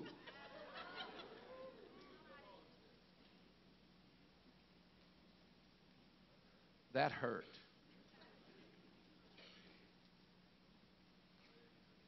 I was shocked. It cut me to the quick. I'd considered myself full of zeal for the Lord, wanting to build a big church for the glory of God. But I did not face the fact I had become a liar. I was not telling it like it is. We must allow the Word of God to convict us and admit our sin and repent, or we'll never go on with God. And many of the people that I've counseled with through the years have been reluctant to admit their sin. They admit to having problems, but not sin. But the only ones who ever received lasting help were the ones who would face sin and repent. Now, hear me, it's going to get heavy, but I want you to listen. I don't think anyone will tune me off right now. I remember husbands who habitually read sex magazines and books and viewed pornographic movies claiming they needed it to be a good husband to their wives. And when they were told they were a pornographer, they reacted with hurt and with denial, and sometimes with anger.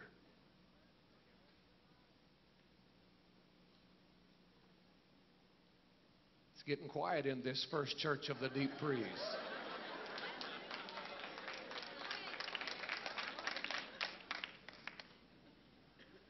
The person who came to tell me that he was taking money from his job, I said, How long have you been a thief?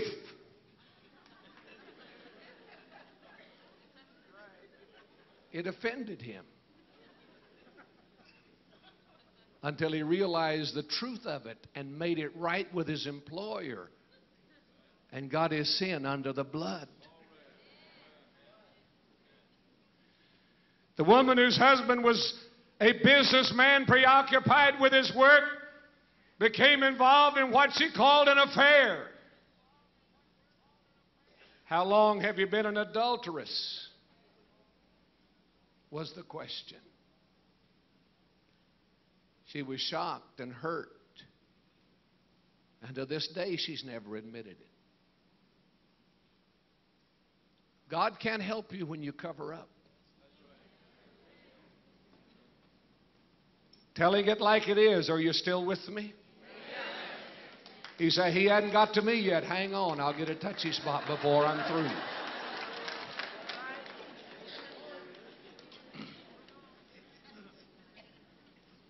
A young couple living together, going to college, came to me planning to marry after they graduate.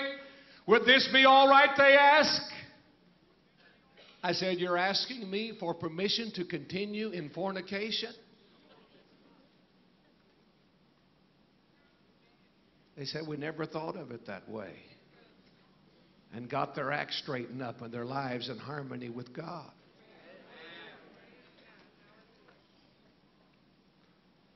The abortionist doesn't want to be labeled a murderer.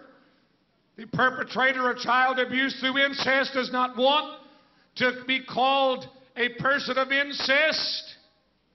And you who are viewing by television will find it easier to admit sin and repent. Call a prayer partner and get right with God because it's done by telephone. But people in attendance tonight, God's going to deal with us before this service is over. And this is going to be the greatest service some of you were ever in.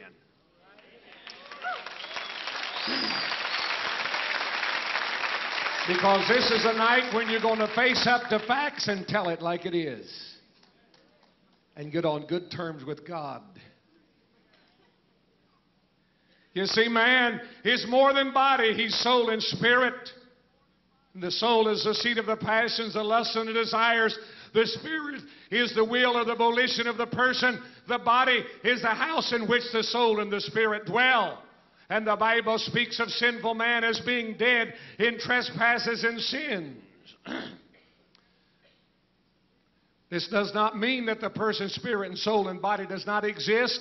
It means what death always means in the Bible separation from God.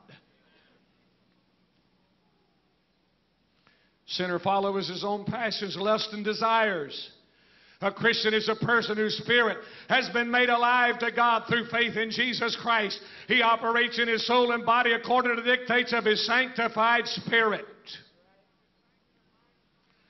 We'll never have proper control of ourselves until we become honest in our desire to live right. And true repentance is never a cover up. It is always a facing of truth and an action calculated to discontinue sin. The unforgiven man is sorry for his sin only when he's caught, and then he's sorry because he's caught. The forgiven person is sorry for his sin before he is caught, and he repents with the purpose of never committing that sin again. He is truly sorry for his sin, not just because he's been caught. Are you listening to me tonight?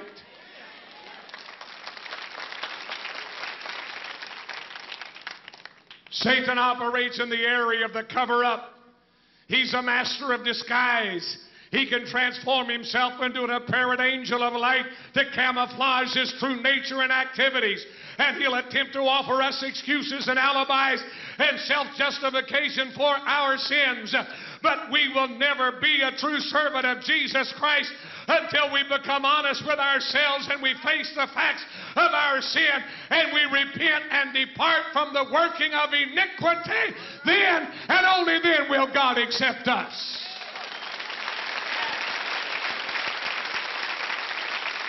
Say amen, somebody.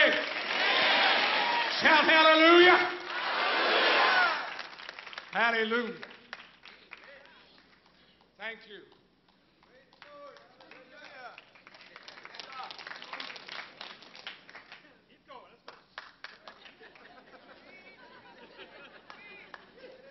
First man Adam didn't want to face up to his sin,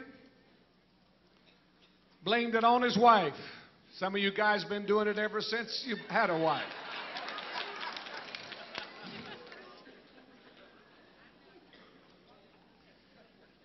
The woman, not to be outdone, blamed it on the serpent.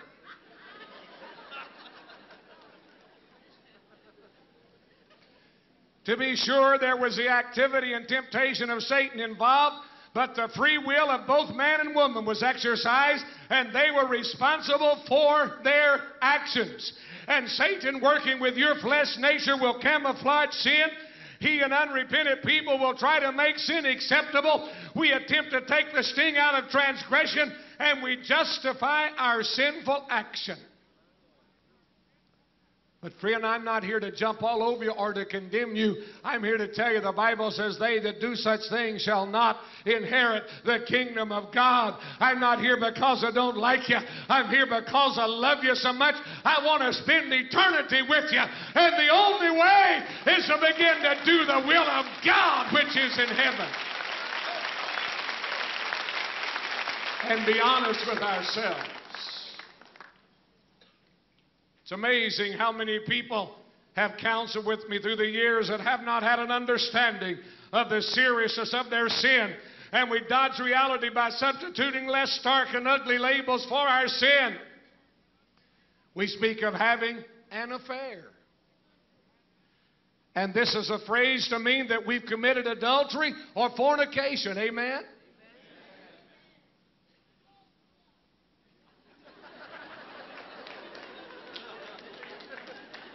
It's a Bible term.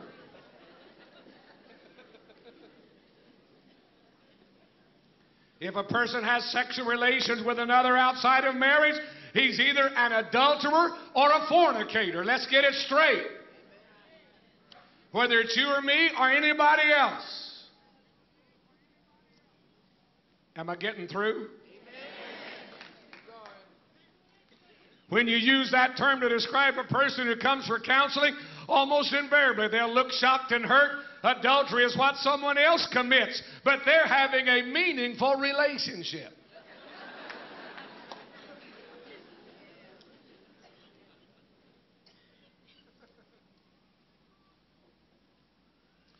Their relationship is tempered by extenuating circumstances.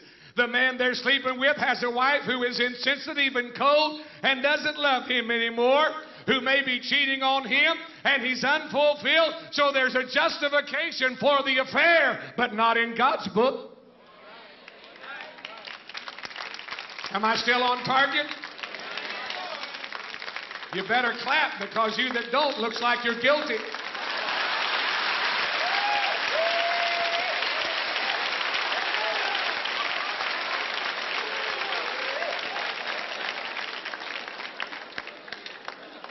You better keep shouting right now like you were at the first. Or everyone around you is going to start looking at you.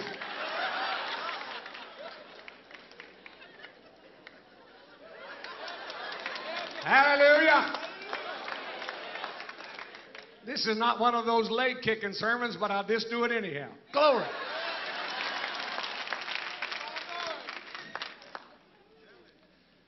The man has a wife who's cold and doesn't understand in the fulfillment he seeks outside his marriage.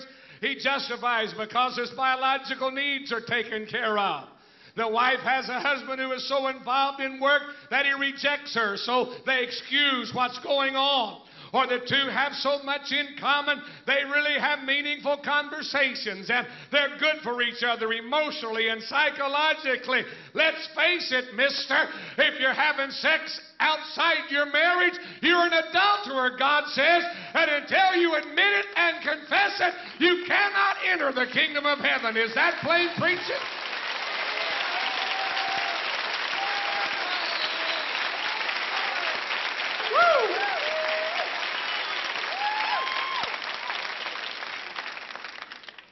Hallelujah. Society has all kind of names for fornication. It's called scoring or making out or making love or doing it, plus a whole lot of others I'd just as soon not mention.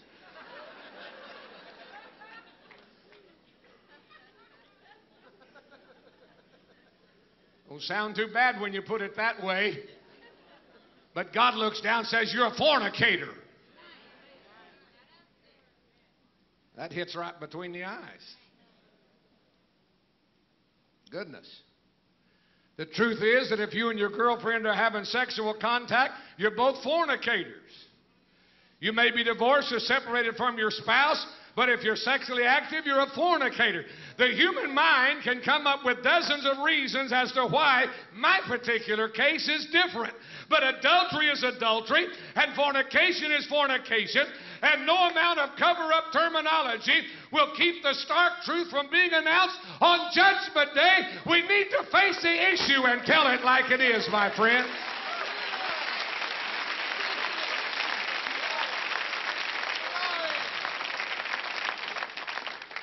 A husband may read those sex magazines or paperback books or look at video cassettes of sexual activities and he explained to his wife that he has to do this in order to fulfill her, but he needs to face the fact that he is a pornographer. And one of the greatest shocks on Judgment Day will be the revelation of how much salacious pornographic material was in the houses and possession of so many professing Christians.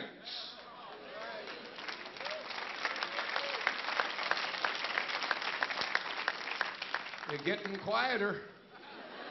Now, I don't preach this because I don't love you, but listen, mister, you need to go home and pull that stuff out from under your bed and put it in your fireplace uh, or tear it to shreds in a paper shredder. Let's clean up our act and begin to do the will of God.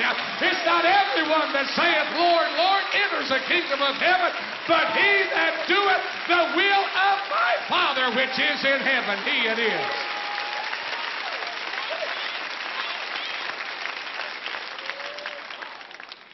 Hallelujah.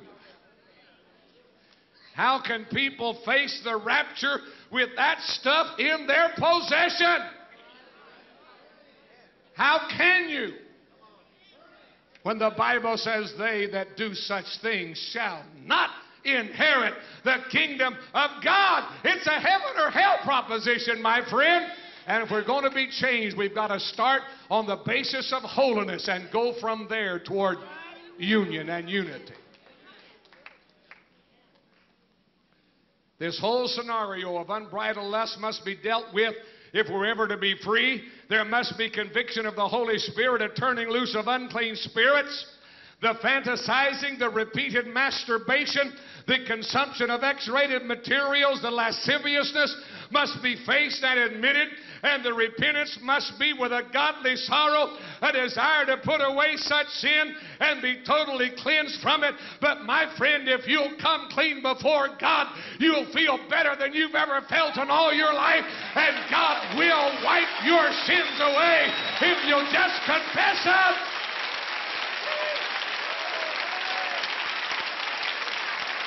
As long as you cover up, they'll never be forgiven.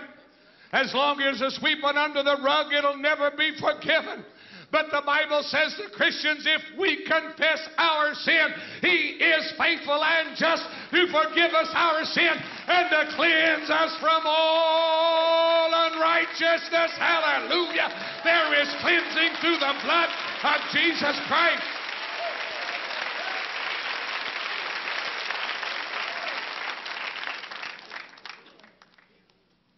People that are involved with incestual relationships in the family probably need counseling, but not nearly so bad as they need to be forgiven and born again and cleansed by the blood of Jesus.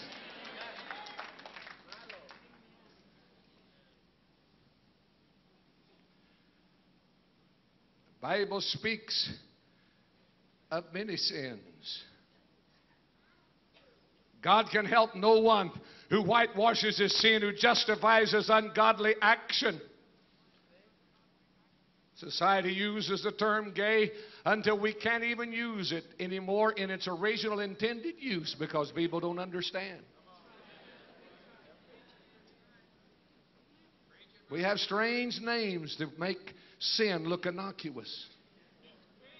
It's really getting quiet. You better say amen now. Everybody's going to be looking at you.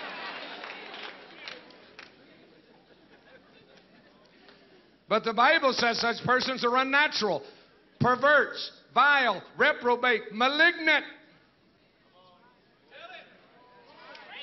I don't say that in hate. I say it in love. We're going to have to face our sins in the light of the Word of God and get them erased. Hallelujah. And then march on with God. I don't care who you are or what you've done or how deep in sin you've gone or how disgusting you've appeared in the eyes of society. I'm here to tell you there is a fountain filled with blood drawn from Emmanuel's veins. And sinners plunge beneath that flood, lose all their guilty stain. Hallelujah. God will set you free if you face your sin and get right with God.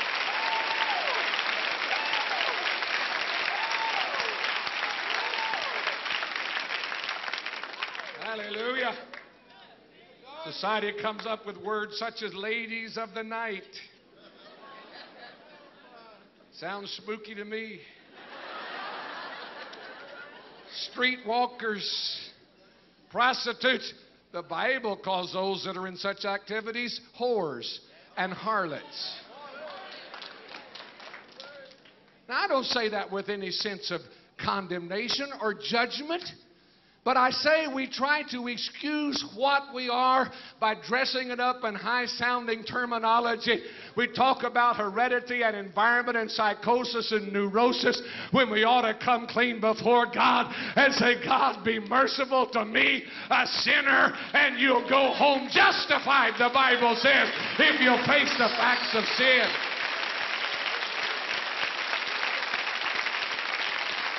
Hallelujah. You say, I came to camp meeting to shout, not to be rubbed the wrong way. Hang around. It may save your soul if you listen to what this preacher's telling you tonight.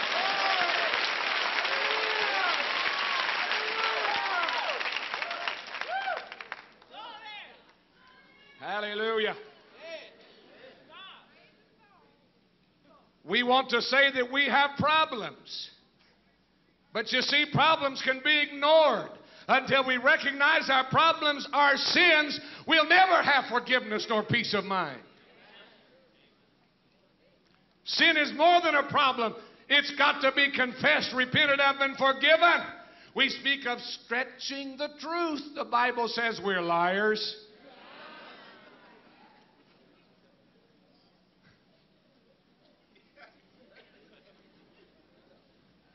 We talk of people who spread rumors. The Bible said they're gossips and backbiters. We speak of people who use profanity. The Bible said they're railers and blasphemers. We speak of the midlife crisis.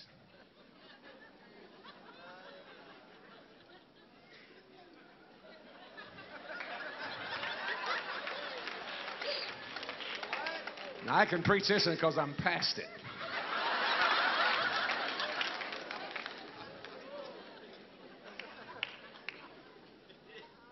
the midlife crisis.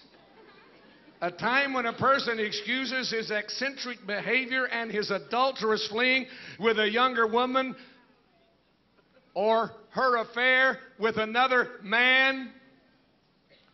There probably is a time in most people's lives when we realize that we're getting older, that we've not accomplished all that we wanted to, that life was about to pass us by, but it's never a license to sin.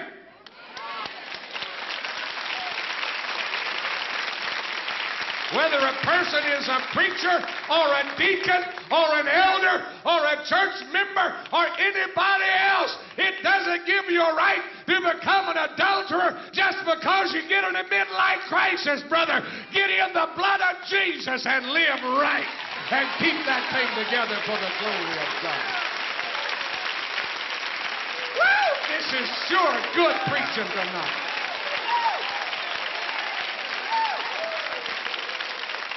Amen. Just simmer down. Don't become an adulterer or a dirty old man or a reveler. Tell it like it is. Sin is sin.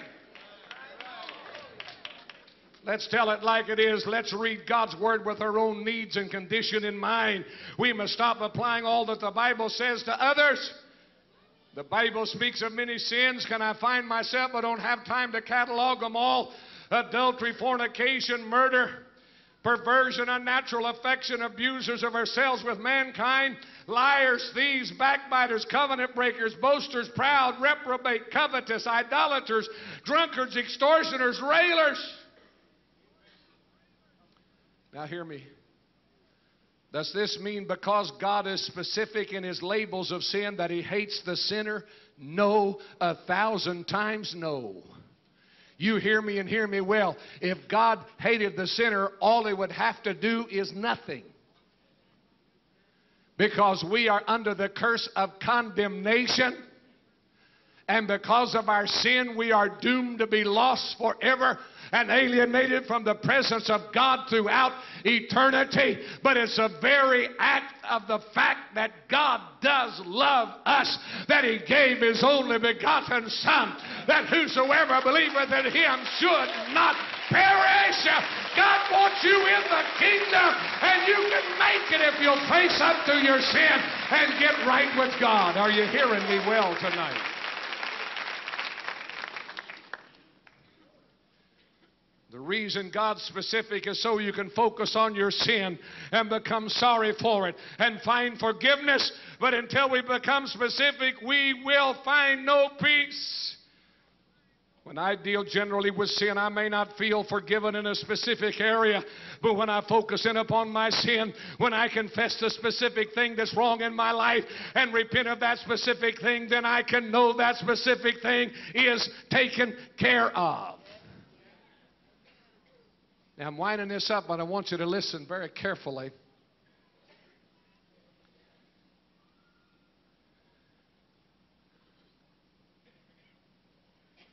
A minister friend of mine said that it isn't right to invite sinners to Christ, but command them to come to God. Now, listen carefully. He received opposition of that comment and that concept because we always have spoken of the invitation. Our altar call is called an invitation, but God did not invite people to be saved. He commanded that men everywhere repent. Now, listen, it's important. If you're given an invitation, you can accept it or reject it of your own will. But if you are commanded, you have no say so. You either accept it or you rebel.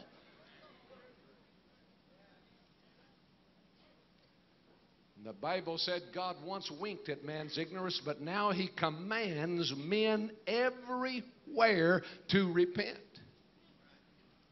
That's important. If I give you an invitation, you have an option. But if I command you, you have no option. You obey or rebel. The man Jesus told about sent invitations for people to come to his supper. They all had excuses. So he sent his servants into the highways and hedges, hedges and he said, Now you compel them to come in. The invitation's over. You compel them to come in. And that's a picture of the gospel kingdom. God did not give the ten invitations, He gave the Ten Commandments.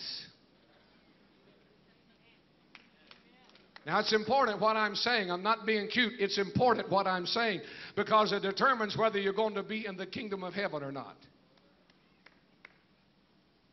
The kingdom of heaven is not found in joining a church, being baptized, or sprinkled, or shaking the preacher's hand.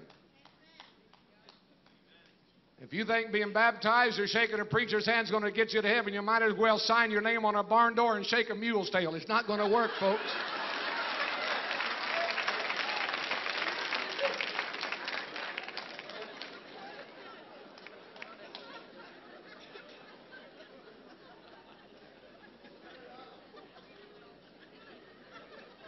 It's going to be when we face up to who we are and what we are and we call what we are what it is, and we repent, confess, and God said He'll cleanse us from all unrighteousness righteousness. Now, you get ready. I'm going to give a command tonight.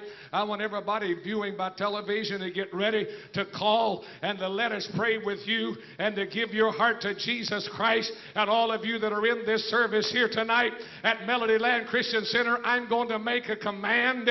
If you are committing adultery or fornication, or homosexuality or perversion of any kind or incest or habitual masturbation or pornography or any other sex sin, I command you in the name of Jesus Christ to repent, to get it under the blood, and to get yourself into the kingdom of heaven because you're not there right now. Are you hearing me?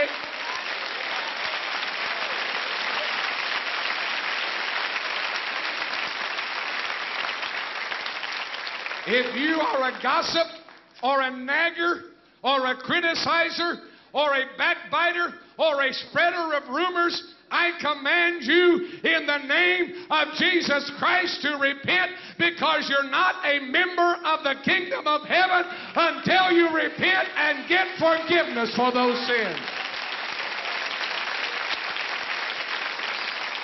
Are you hearing me? If you're a drunk or a dope user, a cusser, a taker of God's name in vain, a violent temper, a reveler, and a partier, I command you in Jesus' name to repent. And if you are bound by drugs and you excuse them because they're the prescription variety, but you're just as hopelessly shackled as that one that abuses it from the illicit street sale.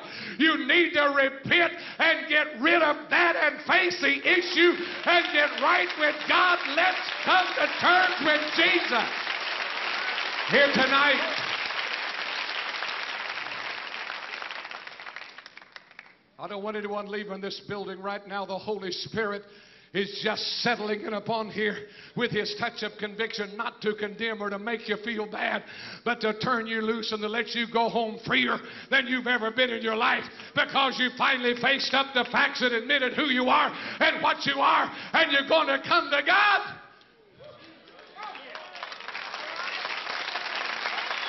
Hallelujah. Hallelujah.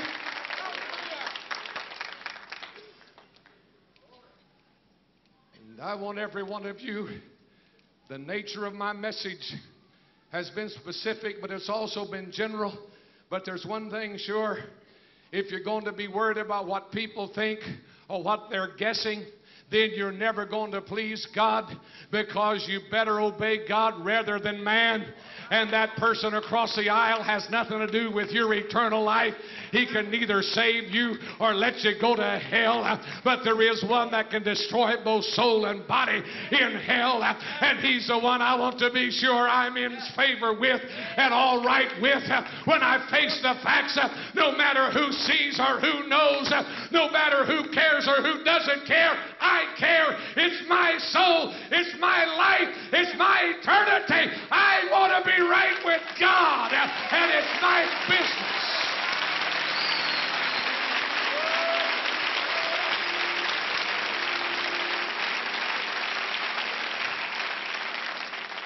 I've heard Dwight Thompson preach long enough to know that you don't bow your heads or close your eyes in Melody Land. This is one sermon. It'd be a whole lot easier if we could. But we're not here to please men or displease men. We're here to get right with God. That's the essence. And as I talk to you in a little bit, I'm going to start in this section and come right around. And I want to see hands raised for those that want to do some repenting and some praying. Doesn't matter if you're a church member or a deacon or a preacher or whoever you are. I preached a message along this line to a bunch of preachers in a camp meeting, uh, and the altar filled up with men uh, that were pastors and evangelists that were getting honest with God. Brother, there's a shaking going on, and we better get in. And I'm here to tell you that if you're an adulterer or a fornicator or a homosexual or given to perversion or insult or zest or habitual masturbation or pornography or any other of these sins, I command you to be saved. If you're a gossip, a nagger, a criticizer, a backbiter, a spreader of rumors, I command you to be saved. If you're a drunk, a doper, a cusser, a taker of God's name in vain, a person of violent temper, I command you to be saved. Stand on your feet everywhere. Nobody leaving this auditorium. Everywhere, stand up in Melody Land Christian Center. And while God looks on, I want us to face facts tonight. And if you will, I promise you, God will touch your life. How many in this section need God's forgiveness and God's help in your life? Get your hands up. Get your hands up. Woo! Right here. How many? Get your hands up right here. How many? Oh, my, my, my, my. How many right here? How many? How many? How many? The hundreds and hundreds of hands are going up. Get down here around this altar. I'm going to pray for you tonight, and God is going to set us free. I command you to repent in Jesus' name. Jesus is here to set you free. Come on. And let's face these issues square as God wants them faced.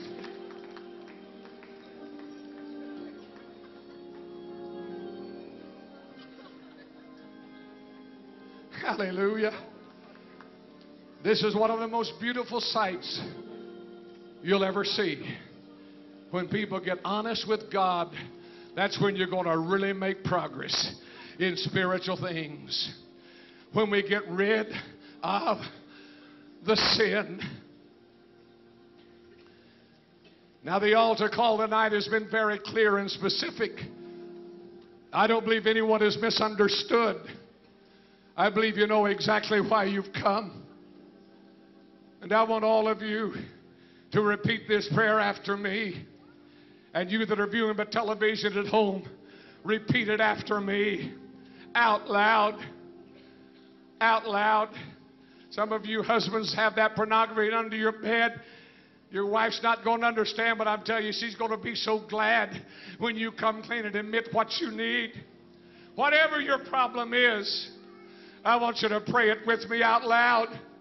And you that are here in Melody Land, I want you to say it so loud that they can hear it 10 people away. Not only can you hear it yourself, but let's say it with boldness because this is the very moment that God is going to set you free and you're never going to be the same again when God's through with you tonight. Oh, hallelujah. What a beautiful sight. And God loves you, and I love you. And I'm not here to condemn you or point a finger of condemnation. I'm here to say, let's face facts and let's get forgiveness and go on to heaven together. Amen. Are you ready to pray? Say it with me out loud. Oh God, I'm a sinner. I haven't been honest in areas of my life but I'm facing facts tonight. I'm confessing my sin. I put it in my mind right now. I'm confessing it before you, God, and asking for forgiveness. For you said in your word, if I would confess my sin, you would be faithful and just to forgive me of my sin and cleanse me from all unrighteousness. Evil spirits that have control of my life, I reject you now. I refuse to allow you entrance anymore. I cast you out of my life in the name of Jesus. I want to be clean. I want to be free. I want to be saved. I want to have everlasting life. I believe it. I claim it. I know, God, that you now cleanse me from all unrighteousness. In Jesus' name, the habit is broken. The sin is erased. My heart is pure. My life is clean. My name is in heaven. I rejoice in my salvation. Glory to God. Glory to God. Glory to God. Hallelujah. Hallelujah. Hallelujah. Glory to God. Hallelujah. Now don't ever be the same. Don't ever be the same. Don't go back. Don't pick it up. Leave it under the blood. Doesn't it feel good? Oh, doesn't it feel good when you face it? and get it out. Hallelujah. Hallelujah. Glory to God. I love you so much, and God loves you. And we're going to heaven together. Hallelujah. Oh, praise God. Thank you, Pastor Dan, for that heaven sent message. We'll never be the same after hearing it.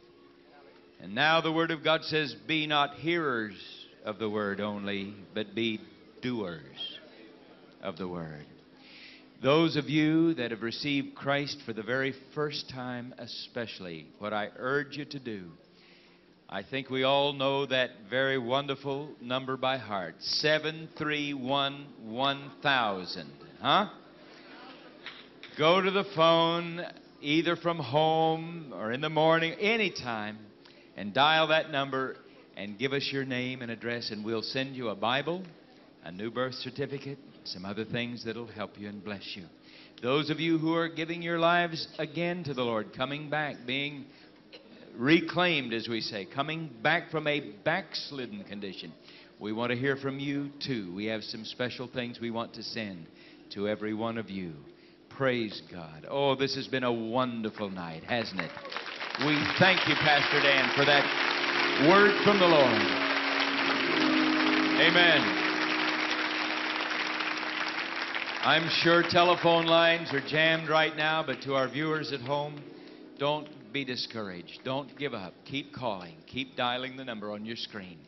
And if for any reason you don't get through tonight, then write the number down and call at other times when the lines are not quite so jammed. We want to hear your beautiful confession of faith in the Lord Jesus Christ. Praise the Lord. Praise the Lord. Candi, Staton, come, angel. Sing a song of invitation as people come to receive Jesus Christ. Thank God for that amazing grace.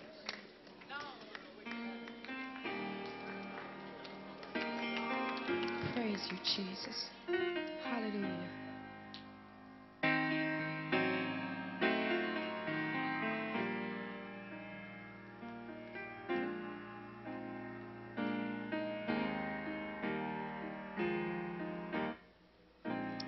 Amazing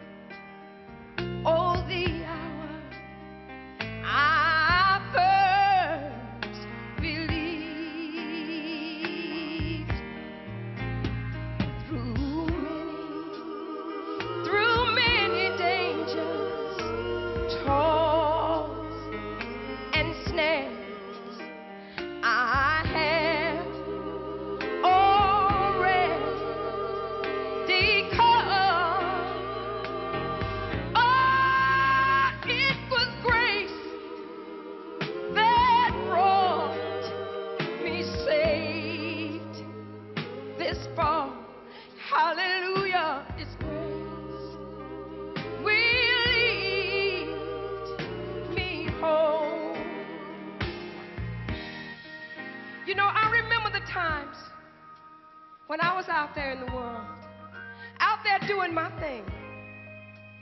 Praise God, I wasn't worthy for God's grace, but He loved me anyhow. Sometimes over the dangerous highways, danger seen and unseen, He kept me safe just for today. Hallelujah. And I just want to praise my God tonight. I want to do you feel like praising Him tonight? Want you to join with me and praise the Lord.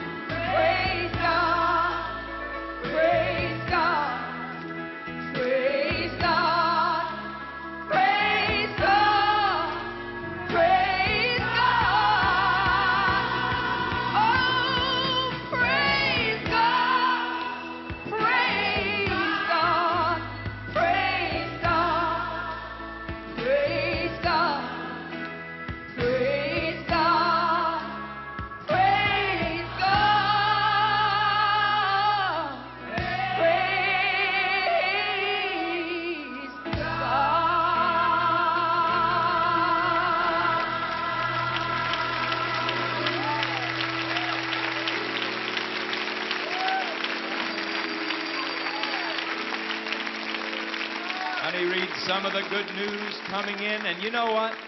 We've got time, I think. Candi, you, you sing a little song that just couldn't fit more perfectly. It says, Sin doesn't live here anymore.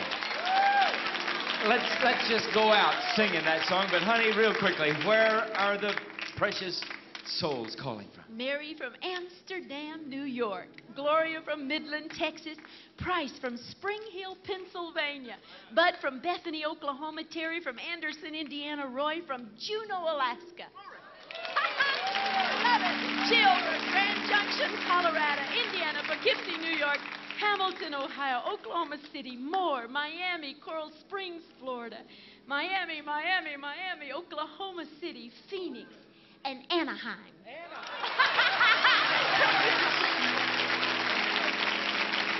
Oh, praise God. Praise God. Camp meeting goes on tomorrow night. Who's going to be with us? Laverne and Edith Tripp, Candi Staton, and we forgot who else. but it's going to be good. It's going to be great. We love you. Come on back, and then remember, we're going to go on all next week with Praise the Lord live right here from Melodyland. Next week is Nicky Cruz, Shirley Boone, Mario Murillo, Hal Lindsey, and Jesus. Our special guest is Jesus.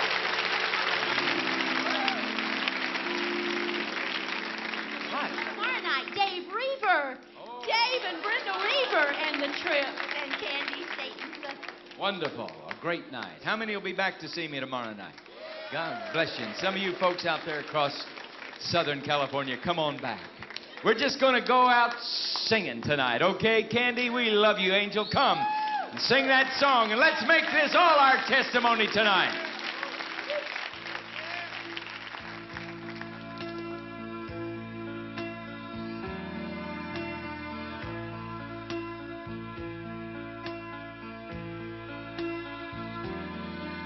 This body of mine is his temple,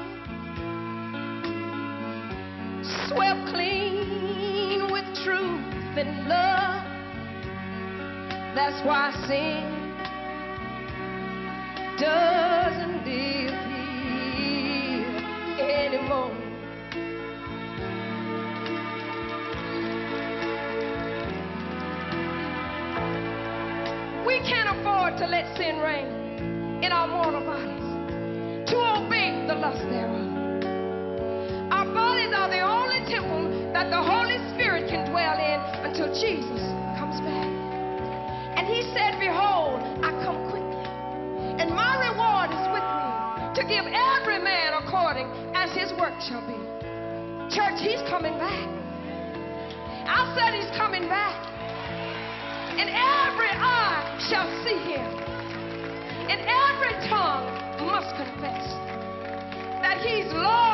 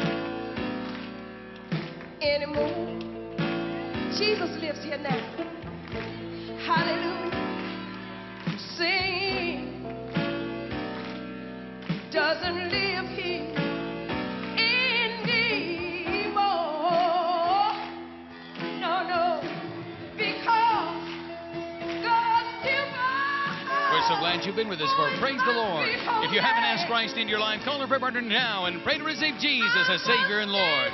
If you'd like an audio cassette of Praise the Lord, please send an ask for program 112-84. That's 112-84. If possible, tuck in a love gift to help defray the cost of the tape ministry.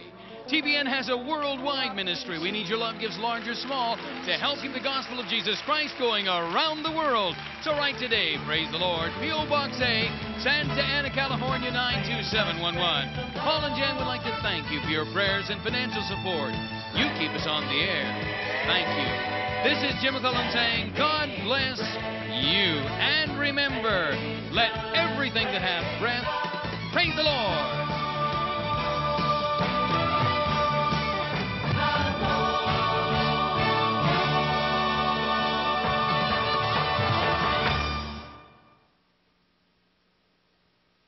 This program was brought to you by the prayers and contributions of our faithful partners throughout the United States of America.